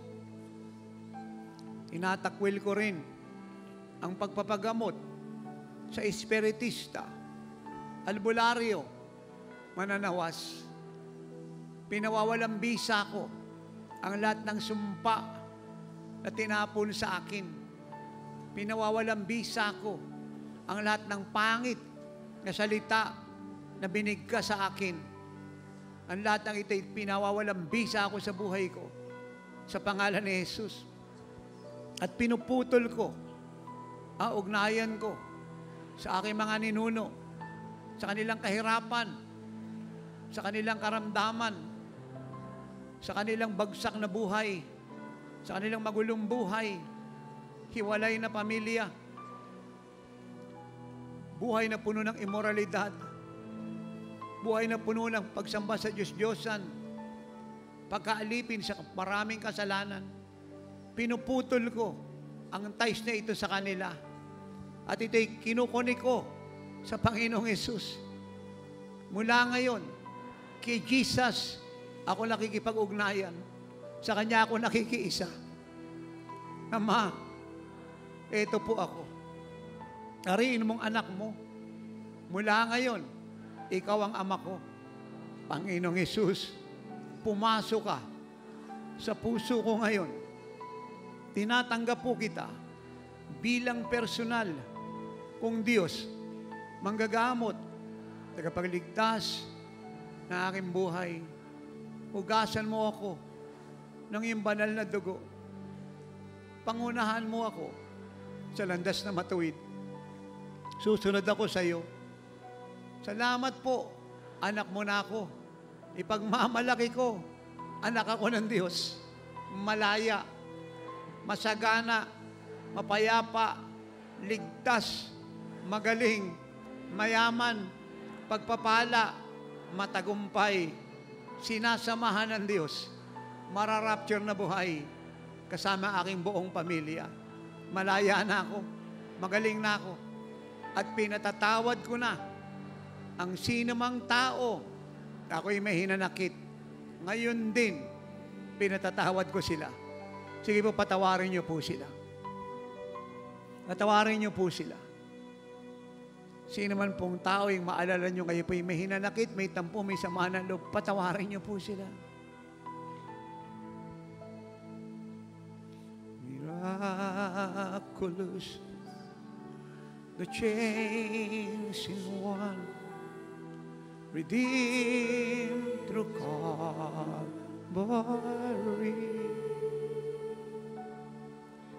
I've seen the lily push its way unto the starborn sun. I believe in miracles. Oh, I believe in God. Keep singing, very, very so. Ang una ko pong ipapanalangin na himalaan ng kasaganaan. Ama, ang mga anak mo po ay nagsakripisyo. Nag-peris fruit. Nag-tithes. Nag-offering. Ang mga pledges nila ay tinapad nila. Ang part nila sa anniversary, ibinigay nila. Ama, ihatid mo ang kayamanan ng mga liko sa isang iglap sa kanilang lahat. Kaya amang umuwi silang inaantay ng biyaya. Punuin mo ang lamesa nila ng pagkain. Ang pitaka nila ng pera. Punuin mo ang kanilang buhay at bahay ng kapayapaan. Hayaan mo ang espiritu ng kasaganan ay bumalot sa kanila. Pagpalain mo ang mga negosyo nila. I-promote mo sila. Pagpalain mo ang kanilang mga kinabukasan. Lahat ng bahagi ng buhay nila ay pagpalain mo. Ang karunungan mo ay sumakanila. Buksan mo ang pintuan upang sila'y pumasok sa mga oportunidad na yan. Ang upuan at probisyon ng mga likoy, alisin mo, ilipat mo sa kanilang lahat. Yung customer ng mga likoy, ilipat mo sa kanilang lahat. Ang property ng mga likoy, ilipat mo sa kanilang lahat. Ang technology ng mga likoy, ilipat mo sa kanilang lahat. Ang bank account ng mga likoy, ilabas mo at ilipat mo sa kanilang lahat. At lahat ng gagawin nila ay pagpalain mo. At habang sila'y nananagana, mabuting Ama, ipaalala mo sa kanila ang salitang katapatan. Ipaalala mo sa kanila ang dahilan ba't mo sila pinagpalat pinayaman upang ang ebanghelyo mo ay tustusan at ang bansang ito sang katauhan ay makapasok sa kalangitan. Dalangin ko rin po, Ama, na ang kanilang mga kamag-anak, salamat po, iniligtas mo ng lahat. Ang mga mahal nila sa buhay ay inabot mo na. Binago mo na. Ang relasyong naputol ay muli mong binuo. Ang ugnayang nasira ay muli mong binuo. Ang pagtatalo-talo ay pinalitan mo ng pagkakaisa. Ang pag-aawa ay pinalitan mo, O Diyos, ng pagkakaisa. Ang hinanakit ay pinalitan mo ng pagpapatawad. Ang pag-iwas ay pinalitan mo ng pananabik na makita ang bawat isa. At pinagpapala ko ang bawat pamilya. Pinagpapala ko ang bawat membro ng pamilya. Pinagpapala ko ang kanilang mga buhay, ang kanilang kinabukasan. At salamat po, Ama, lahat na may sakit dito, ipinagaling mo na. Cancer, pinawawalang bisa kita. Goiter, leukemia, myoma, high blood, epilepsy, sakit sa buto, sa bato, sa baga, sa bituka. Ulcer, tetong galis, spirito ka ng kulam, barang, stiff neck problem, sinusitis, allergy, die! I rebuke you. Espiritu ka ng pag-aalala, takot, lungkot, pangamba, operation, depression, immorality. Espiritu ka ng kabaklaan at katomboyan. Go! Iwanan mo sila. Sila lalaki, sila babaeng babae. Pag-aari ng Diyos. At marami pong salamat na bawat may sakit sa lugar na ito, sa NCR, sa Luzon, Visayas, Mindanao at buong mundo, mula ulong ang talampakan ay pinagaling mo na. Sige po, itaas nyo inyong dalawang kamay. I-wave niyo po siya sa Diyos. I-wave niyo po siya sa Diyos. Itaas niyo po siya. Taas po yung kanang paa. Kaliwa, kanan, kaliwa. Bend po yung katawan. Bend. Patalikod. Swing po yung katawan. Swing. Hinga ng malalim. Kung kayo po'y buntis, nagdadalang tao, bagong opera o naglilihi, huwag kayong tatalon ko. Hindi naman po. Talon. Lukso. Salatin niyo yung mga bukol niyo, tunaw na lahat yan. Bukol sa ulo, sa lalamunan, sa dibdib, sa tuhod, sa paa, sa bituka. Malusaw ka. Die in Jesus' name. And be healed in Jesus' name. Sabi niyo, Lord, salamat po. Magaling na ako. Magaling na ako. So lahat po ng magaling, takbo rito sa harapan at tayo po'y magpapatotoo. Yung lahat po ng magaling ay takbo po rito sa harapan, tayo po'y magpapatotoo. Lahat po ng magaling lumapit dito para malaman ng mga pastor kung ano po gumaling sa inyo. Tayo po'y magpapasalamat sa Diyos. Kayo pong nasa labas, kayo nasa loob. Kayo po riyan sa Zoom. Kayo po riyan sa Facebook, sa YouTube, sa television, sa radio, here in abroad. So lahatan niyo po ako, tawagan. I want to hear from you. Let us tell this nation in the world that Jesus is the only healer. He is the great physician. At siya po nagpagaling sa inyong mga sakit at karamdaman.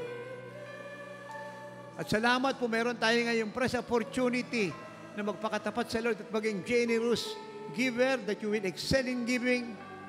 Anyan po ang baka kauntang ministry. Napakahalaga ng inyo pong ikaputandog, ng inyo pong bow sa television, sa radio, mission, mission of love, mission travel, dwelling place, and more. At huwag niyo pong kakalimutan, hindi lamang ang inyong pagbibigay kaligtasan ng lahat, hindi lamang ang inyong pagbibigay kalungkutan ni Satanas, higit sa lahat ang inyong pong pagbibigay kaligayahan ng Diyos. Huwag niyong kakalimutan hanggang may pagsunod ang pagtanggap ay hindi titigil. Mararapture po tayo ritong masagana, mayamang kagaya ng Panginoon. We plunder the wealth of the wicked. Palakpakan po natin ang Diyos. Man of God, si tatay po dumating dito na hindi po nakakalakad. Ngayon po, purihin po ang Diyos na buhay. Si tatay po nakakalakad na. Pinagaling po ng ating Diyos. So, naiyak si tatay. Ta- Pakitapat mo yung mic kay tatay. Hindi po kayo nakakalakad, tatay. Alam po siya. Ha? Alam na na po lumakad kanina. Ngayon po, usapang pumasok. Dati hindi po siya, na- siya po. Dati hindi siya nakakatayo. Natayo po, bantagal po. Bago tumayo ngayon po, lumakad siya ng pusa, papasok po dito. Salamat sa Panginoon Diyos. Lahat po ng sakit ko po, inalis ng Panginoon. Thank you, Jesus. God bless you po. Ano nangyari? Lingkod na niya si nanay po, niyaya dito ng isang kapitbahay niya na pinagaling din dito ng Panginoon.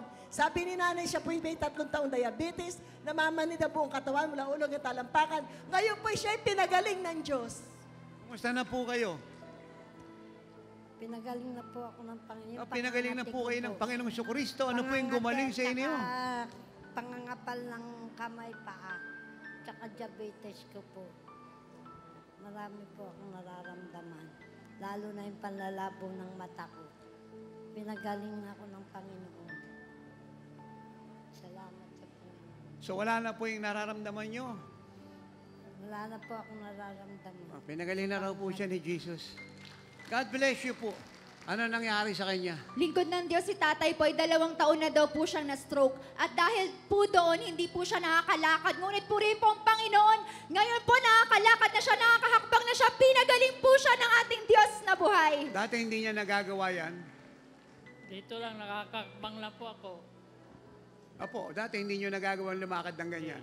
Ano lang, sa ba, dalawang taon ako nakailata sa, ba- sa ano Eh, ba- dalawang taon po itong nakaratay sigan. Eh, nakakalakad din. Palakpak nyo. Ayaw nyo pang ipalakpak. Amen. Ayaw na itong pawat. Tatanungin ko pa. Ayaw ng pawat eh. Hindi niya po yung kanyang paglakad. Ano nangyari Si rito? Tay Jerry po, man of God, ay bunga po ng TB5. Siya po'y two years na pong stroke. Hirap po siyang maglakad, hirap din po siyang magsalita. Pero ngayon po, purihin ng Panginoon, magaan na magaan na po yung pakiramdam niya, pati paglakad niya, maayos na po. Kumusta na po kayo, kuya? Okay na po, okay na. Okay na po paglakad ko. Maginhawa na kayo? Opo, Kakalakad na kayo? opo. Praise the Lord. Ganda ng ayos nyo ha. Para po kayong 18 years old. Nakaka-bless naman. Sino pong gumamot sa inyo? Ang Panginoon Diyos. God bless po. So, ano nangyari? Man of God, si ate po ay dumating po sa lugar na ito na puno po ng depression at anxiety. At may one year daw po siya na FICOS. Bigat na bigat daw pong pakiramdam niya nung dumating siya sa lugar na ito. Ngunit sabi po niya, papag, pagpasok pa lang po niya sa lugar na ito, ang lahat ng kabigatan na kanyang daladala ay tinapos ng Diyos. Kumusta, kumusta ka na po, ate? Okay na po. Eh, bakit kayo iyak ng iyak? Sa dami ko kasi pinagdaanan, iba po yung presensya ni Lord dito. Ang tao rito. O siguro hindi nyo naintindihan yung sinasabi niya, ano? Tapos yung amay na nakaintindi ng sinasabi niya. O konti na yung nakaintindi. Pakiulit mo nga yung sinasabi mo dahan-dahan Sa lang. dami ko pong pinagdaanan, naging tumboy po ako, nag, binago po ni Lord. Kahit po hindi pa po ako nanonood dito kay Tatay Apostol, iba po yung pakiramdam ko kay Tatay. Hmm, Naintindihan niyo na? Praise God. God bless you. Lingkod ng Diyos, si nanay po ay from San Agustin. Bagong dalo po siya sa lugar na ito. Bunga po siya ng TB po. Sa kanya pong kapatid na imbitahan po siya sa lugar na ito. Sangayon po kay nanay, siya po ay may sakit sa puso, may arthritis, may high blood po siya, may asthma po siya. Nung dumating po siya sa lugar na ito, hindi niya po natataas yung kanyang tuhod. Ngunit sangayon sa kanya, pag siya raw po ay pinatakbo, makakatakbo na siya, pinagaling po siya ng Diyos. Sabi niya, pag, pag pinatakbo daw po kayo, makakatakbo kayo. Tingnan namin. Sige po, yung mabilis po, nanay, yung takbo. Sabi nung pastor, oh, eh, eh, kasi kayo, hindi kayo naniniwala eh. Oh, tumalun pa siya. Sige po, tuloy-tuloy na po kayo dyan. Ayaw ng paawat eh. Ano nangyari rito? Ah, praise God po, man of God. Napakadakila mga ginawa ng Lord sa buhay po ni nanay. Balita po, galing pa po siya ng Isabela. Meron po siyang five years na ganito pong uh, kidney stone. At nung tumagal ng tumagal hanggang naabot po ng five years, naging lima rin po, nagmultiply. At dapat po subjected for operation po siya. Kailangan po niya dapat ng 100,000 para maoperahan. Pero may kapatid na nagsabi sa kanyang wag na lang sa oras ng himala lang pumunta. At hindi nga po siya binigo ng Diyos. Pangalawa, meron din po siya pong palpitation, paglaki ng puso. Nakasabay po nito ay lagi po siyang hinihingal at talagang ah, mabigat ang katawan. At kanina na po nang pinagprenyo daw po, grabe pong pawis niya kanina. Lahat tuwi ng time ng Lord, magaan na magaan na pakiramdam ni ate. Kumusta na po kayo? Maginawa na kayo? Sino po ang nagpagaling sa inyo? Si Lord. Si Jesus. Palakpakan natin ng Diyos. God bless you. Lingkod Ano ng Diyos, tuwan-tuwa po ito isang pamilya na to. Kasi po yung, si, yung anak nila may leukemia, isang taon na po. Ngayon po sabi ng bata, pinawisan po siya ng marami. Lumabas po yung masamang espiritu sa katawan niya. Sabi niya, maginhawang maginhawa. Galing pa po sila ng Mindoro. Nabalitaan po nila na sa oras ng himala ay gumagaling ang lahat na may sakit at karamdaman. Amen. Praise the Lord. So tatay, kayo po yung tatay. Ano ang dating problema ng anak niyo? Leukemia. Gano'n na po katagal? Anong sabi ng doktor? Pinapakain ng masasarap. Uh, sabi ng doktor sa akin, parang wala nang asa. Wala na rin pong pag-asa. Tinaningan na po siya. Ilang buwan na lang daw po. Hindi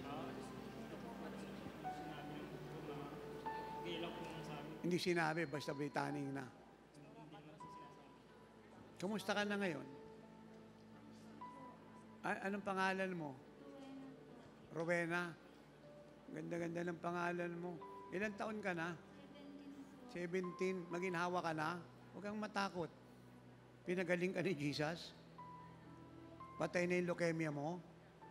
Amen. Magunat po kayong kamay. Tapos mo yung dalawa mong kamay. Huwag kang matakot. Tingin ka sa akin. Lord, salamat po. Patay na leukemia ko. Magaling na ako. Higit kang makapangyarihan kaysa leukemia. Thank you, Jesus. So Lord, hindi na natin ito kailangan panghawakan kasi siya po'y puno ng pawis eh. Yung po'y sign ng deliverance eh. Palakpakan po natin si Jesus. Talon ka ng dalawang talon. Lukso. Dalawang lukso. Kaya mo yan. Ganito lang, oh. Sige. Takbo. Kaya mo yan. Huwag kang matakot. Hindi, huwag kang matakot. Sabihin mo, Jesus. Sabihin mo, Jesus. Kaya kong tumakbo. Ang takbo, sige. Sige.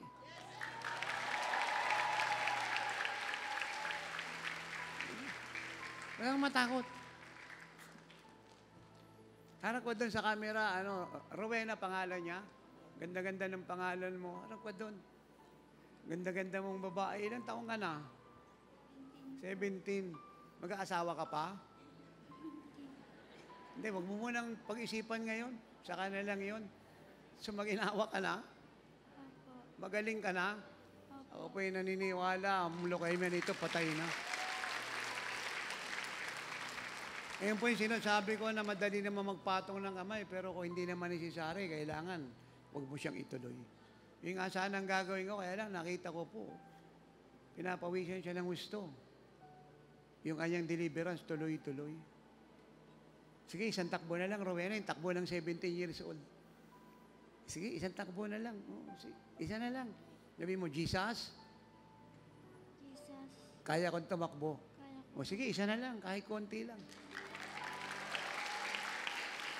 Hmm? Meron pa kayong dalang bihisan niya? Oh, Bihisan niyo na kaagad yan. Saan kayo sa Mindoro? Victoria po. Victoria. Opo. Pagpalayan na yung buong Victoria. So magaling ka na, Rowena, ha? Salamat ka kay Jesus araw at gabi, ha? Palakpakan po natin si Jesus. God bless you. Lingkod ng Diyos, si Kuya daw po ay 12 years na daw po siyang may spermatosis. Lagi daw pong sumasakit yung maselang bahagi ng katawan niya po. 12 years na daw po niya itong nararamdaman. Kasabay po nun, meron din daw po siyang skin disease kung saan lagi pong nangangati yung buo niyang katawan po. Ngunit purihin po ang Panginoon, instantly daw po nakaranas po siya ng kagalingan. Hindi na daw po sumasakit yung maselang bahagi ng katawan niya. At ngayon, hindi na rin daw po siya nakakaramdam ng pangati ng kanyang katawan. Pinagaling po siya ng ating Amen, Diyos na amen. buhay. Thank you, Jesus.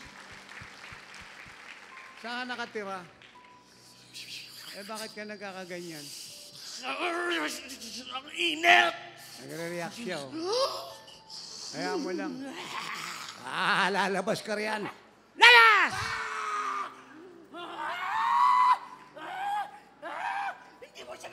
Isa, dalawa, tatlo, labas! Taas lang po kayong kamay. Akala niya, ha? Akala niya, matatakot niyo si Janito. Akot niya na. Eh, sinasabi ko, pag greater power na encounter niya, pero kinakausap niya kanina rin, walang reaction. Eh, nung naharap kay tatay, nagkaganon. Huwag ka nang babalik sa kanya. Iiwanan mo siya. Lahat ng nilagay mo sa kanya, ugat, buto, dugo, laman.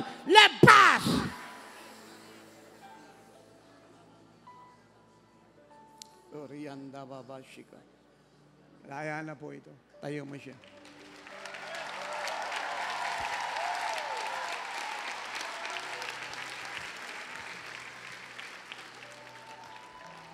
Kumusta ka na? Okay po. Lahat po tayo tumayo, palakpakan natin si Jesus. Saan ka nakatira? Po po. Sa Quiapo. Liwanag na po yung mukha niya. Oh. What a mighty God we serve. Sigaw mo ron sa buong Pilipinas, buong mundo. Sino yung nagpalaya sa iyo? Si Jesus! Amen! Hallelujah! God bless you. Takbo.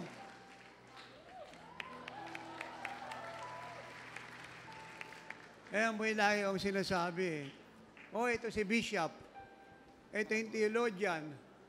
Galing mag-English, ganda korbata, naka-attache case. Madaming laman yung attache case.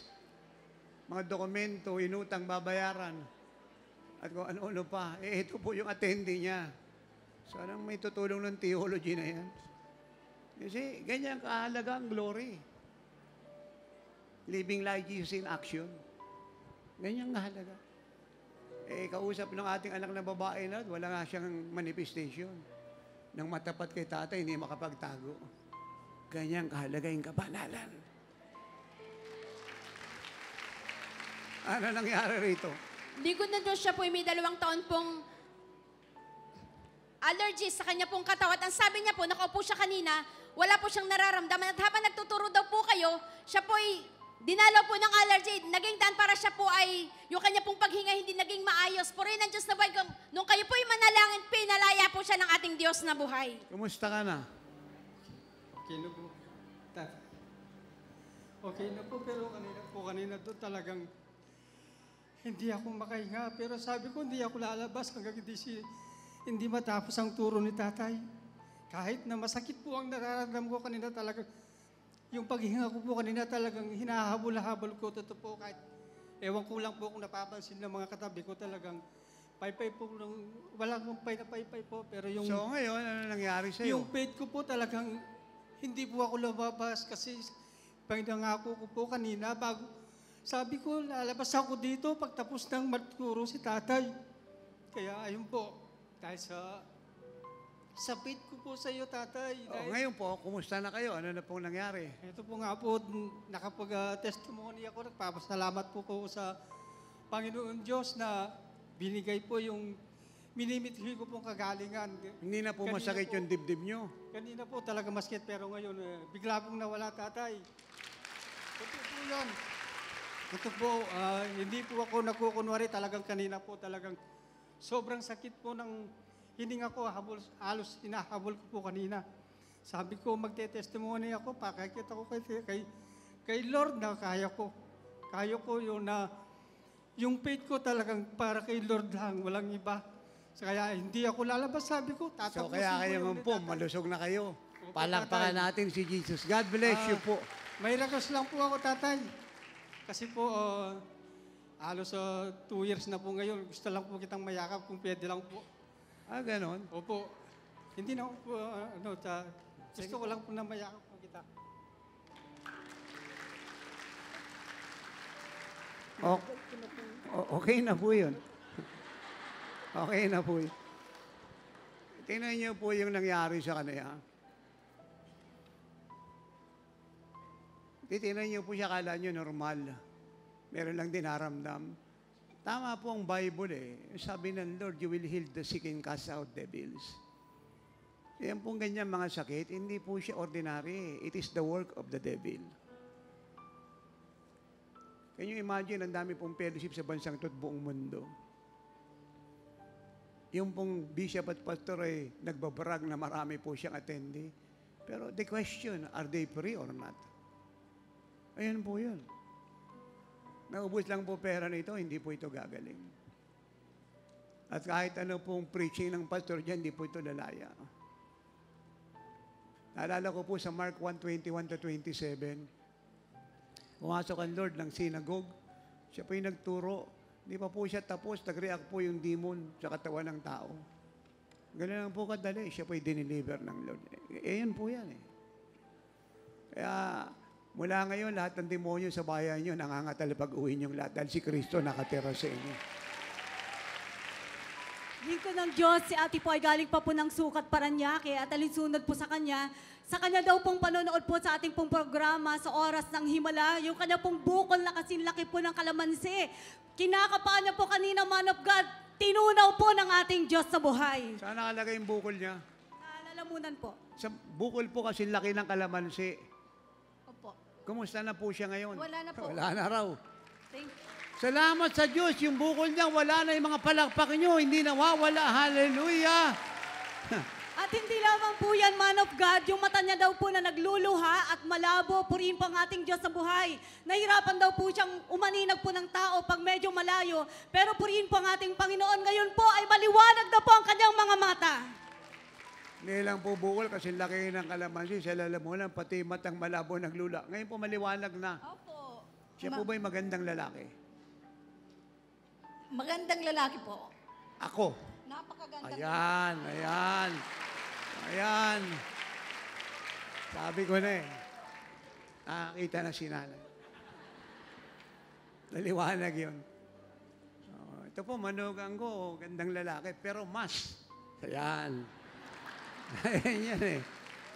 Kaya dahil kayo po yung nagsabi ng totoo, magaling na kayo at ang biyaya ng Diyos ay sumay niyo habang panahon. God bless po. Ano nangyari? Lingkod ng Diyos, sila po ay mag-ama. Yung pong kanyang anak, bago po pumunta dito ay nilalagnat po.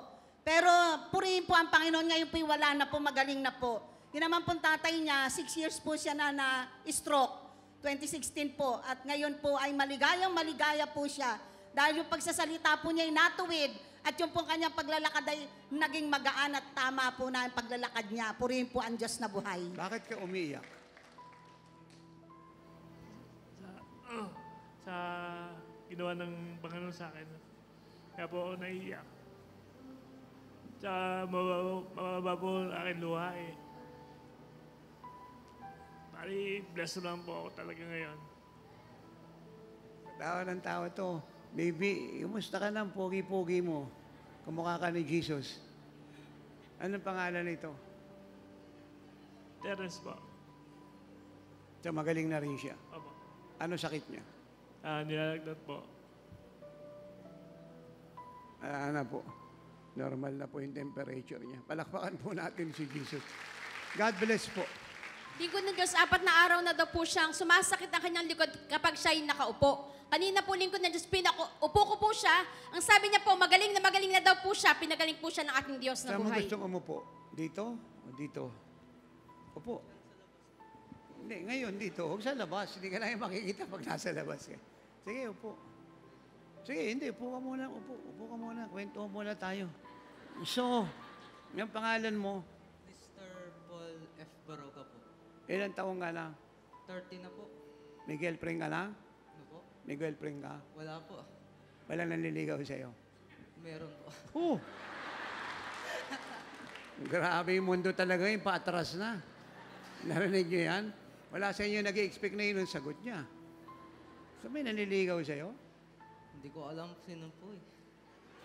Ba't nagbago ka ng salita? Kanina sabi mo meron. Ay, meron po. Taga saan, taga saan? Ah, Dan Ars, ay, Ilocos Sur po. Taga Ilocos Sur. Opo. Maganda naman. Maganda po siya. Ilang taon na? Hindi ko pa siya alam eh. Ang alam ko pa lang siya, grade 6. Grabe. Magulo na yung mundo talaga ngayon. Mm, Sige, tayo. Sige, lundag. Doon sa baba. Sige, ilundag. Lukso. Talon. Mm, Sige, Ben. Isahid mo sa carpet. Sige, ta- tayo, tayo. Bawal dito yung mabagal eh. Bilis. Hindi, bilisan mo. Hindi, su- sunod ka lang ng sunod. Huwag mong pigilin. Hmm. Kamusta na yung likod mo? Okay na po. Palakpakan natin si Jesus. Naganat po tayong dalawang kamay. I believe in miracles. Oh, I believe in God. I believe in miracles. I've seen the soul set free. Miraculous, chains in one, redeemed through Calvary. I've seen the lily push its way into the starborn sun. I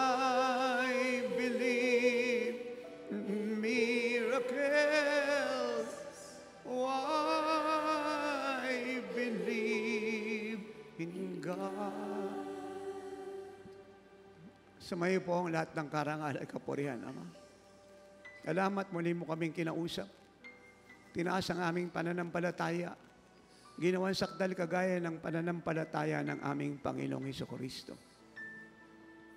Hindi mo lang po sinelyuhan ang tinanggap ng iyong mga anak. Kundi ang biyaya ibinuhos mo. Uwi kami amang inaantay ng biyayang umaapaw. Saan man kami pumunta, kami po ay blessed. That blessings accompany us and that blessings are turned into wealth. And thank you. The gospel will be pronounced. This nation will be saved. And the world will come to Jesus. So the church will be perfected.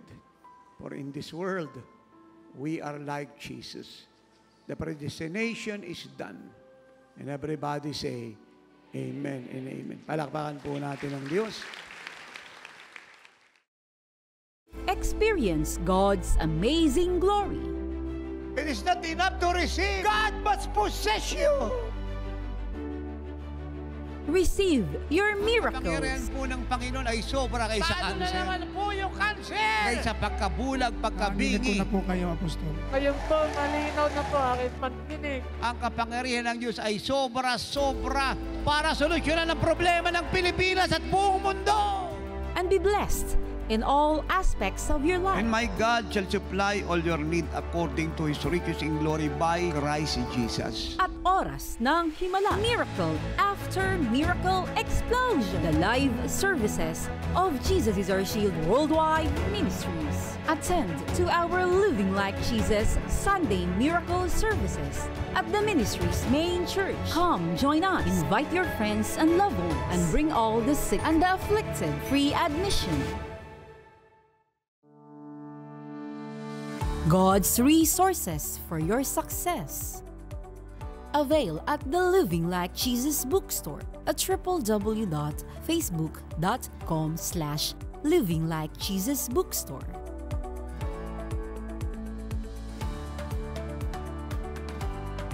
Avail the calendars for the year 2023. The Living Like Jesus newsletters.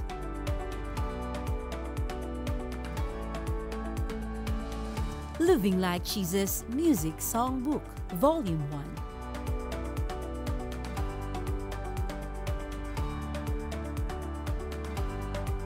Living Like Jesus Foundation Manual. And the Anointed Prayer Cloths. You can also avail the latest books entitled Manna from Heaven, Volume 1 and 2.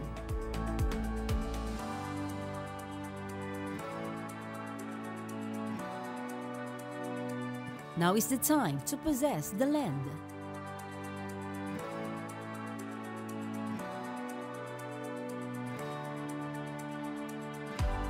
God is watching His word to perform it Volume 1.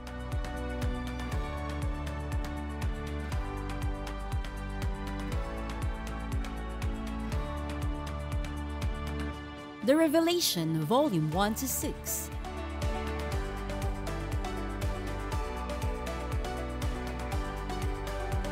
Also have your copies of the latest worship album of the man of God, Apostle Renato D. Carillo, in DVD entitled Be Exalted, O God.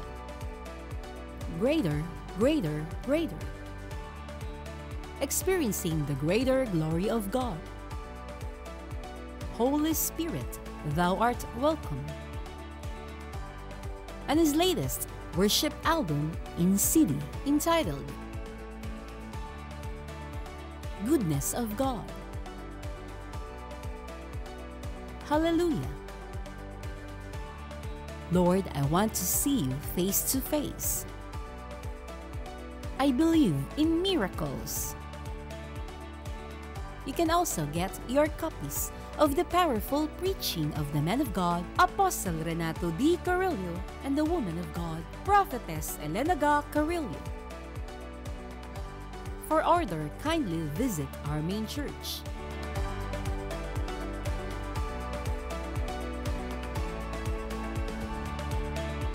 Or you can order online.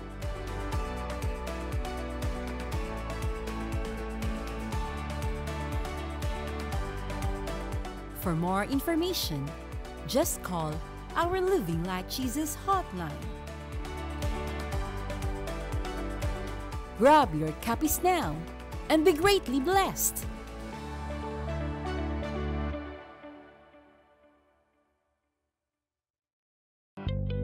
One of the partners with the mandate of the man of God, Apostle Renato Di Carillo of Jesus is Our Shield Worldwide Ministries in proclaiming the living like Jesus gospel through every means available. With our TV and radio programs, social network evangelism, print resources, and other ways we have reached the whole world with the good news. Our Living Like Jesus prayer and counseling hotline are here for all 24 7. Continue to share God's love and greatness through our live services and the Living Like Jesus Apostolic Mission Travel of the Men of God here and abroad, bringing salvation, healing, deliverance, blessings, and apostolic revival to the church worldwide. We also offer hope to the victims of calamity, tragedy, and pandemic and those who are in need through Mission of Love, Love in Action. Join us in taking the life saving, miracle working power of Jesus Christ to the ends of the earth and the living like Jesus gospel to the church. Call or send message now. Your love offerings truly make an eternal impact. Be a partner with the mandate now and be greatly blessed.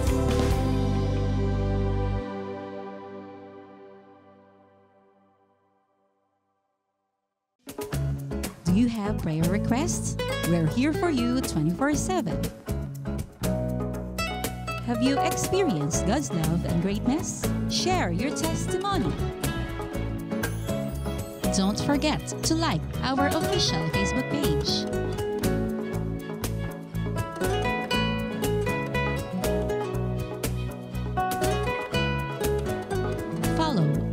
Instagram and Twitter accounts.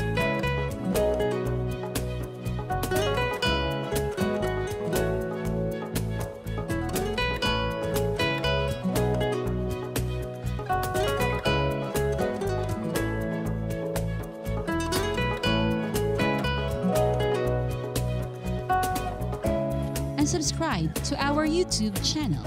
Just open your YouTube app and search for Jesus is Our Shield Worldwide Ministries. Or simply in the search bar, just type youtube.com slash Jesus is Our Shield Worldwide Ministries. Click the subscribe button now and be updated with the latest Living Like Jesus preachings of the man of God, Apostle Renato D. Carillo, and also the ministry's events.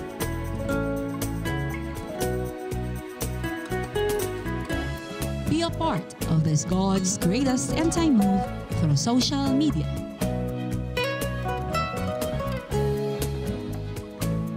You for joining us tonight. You can also attend to our Living Like Jesus service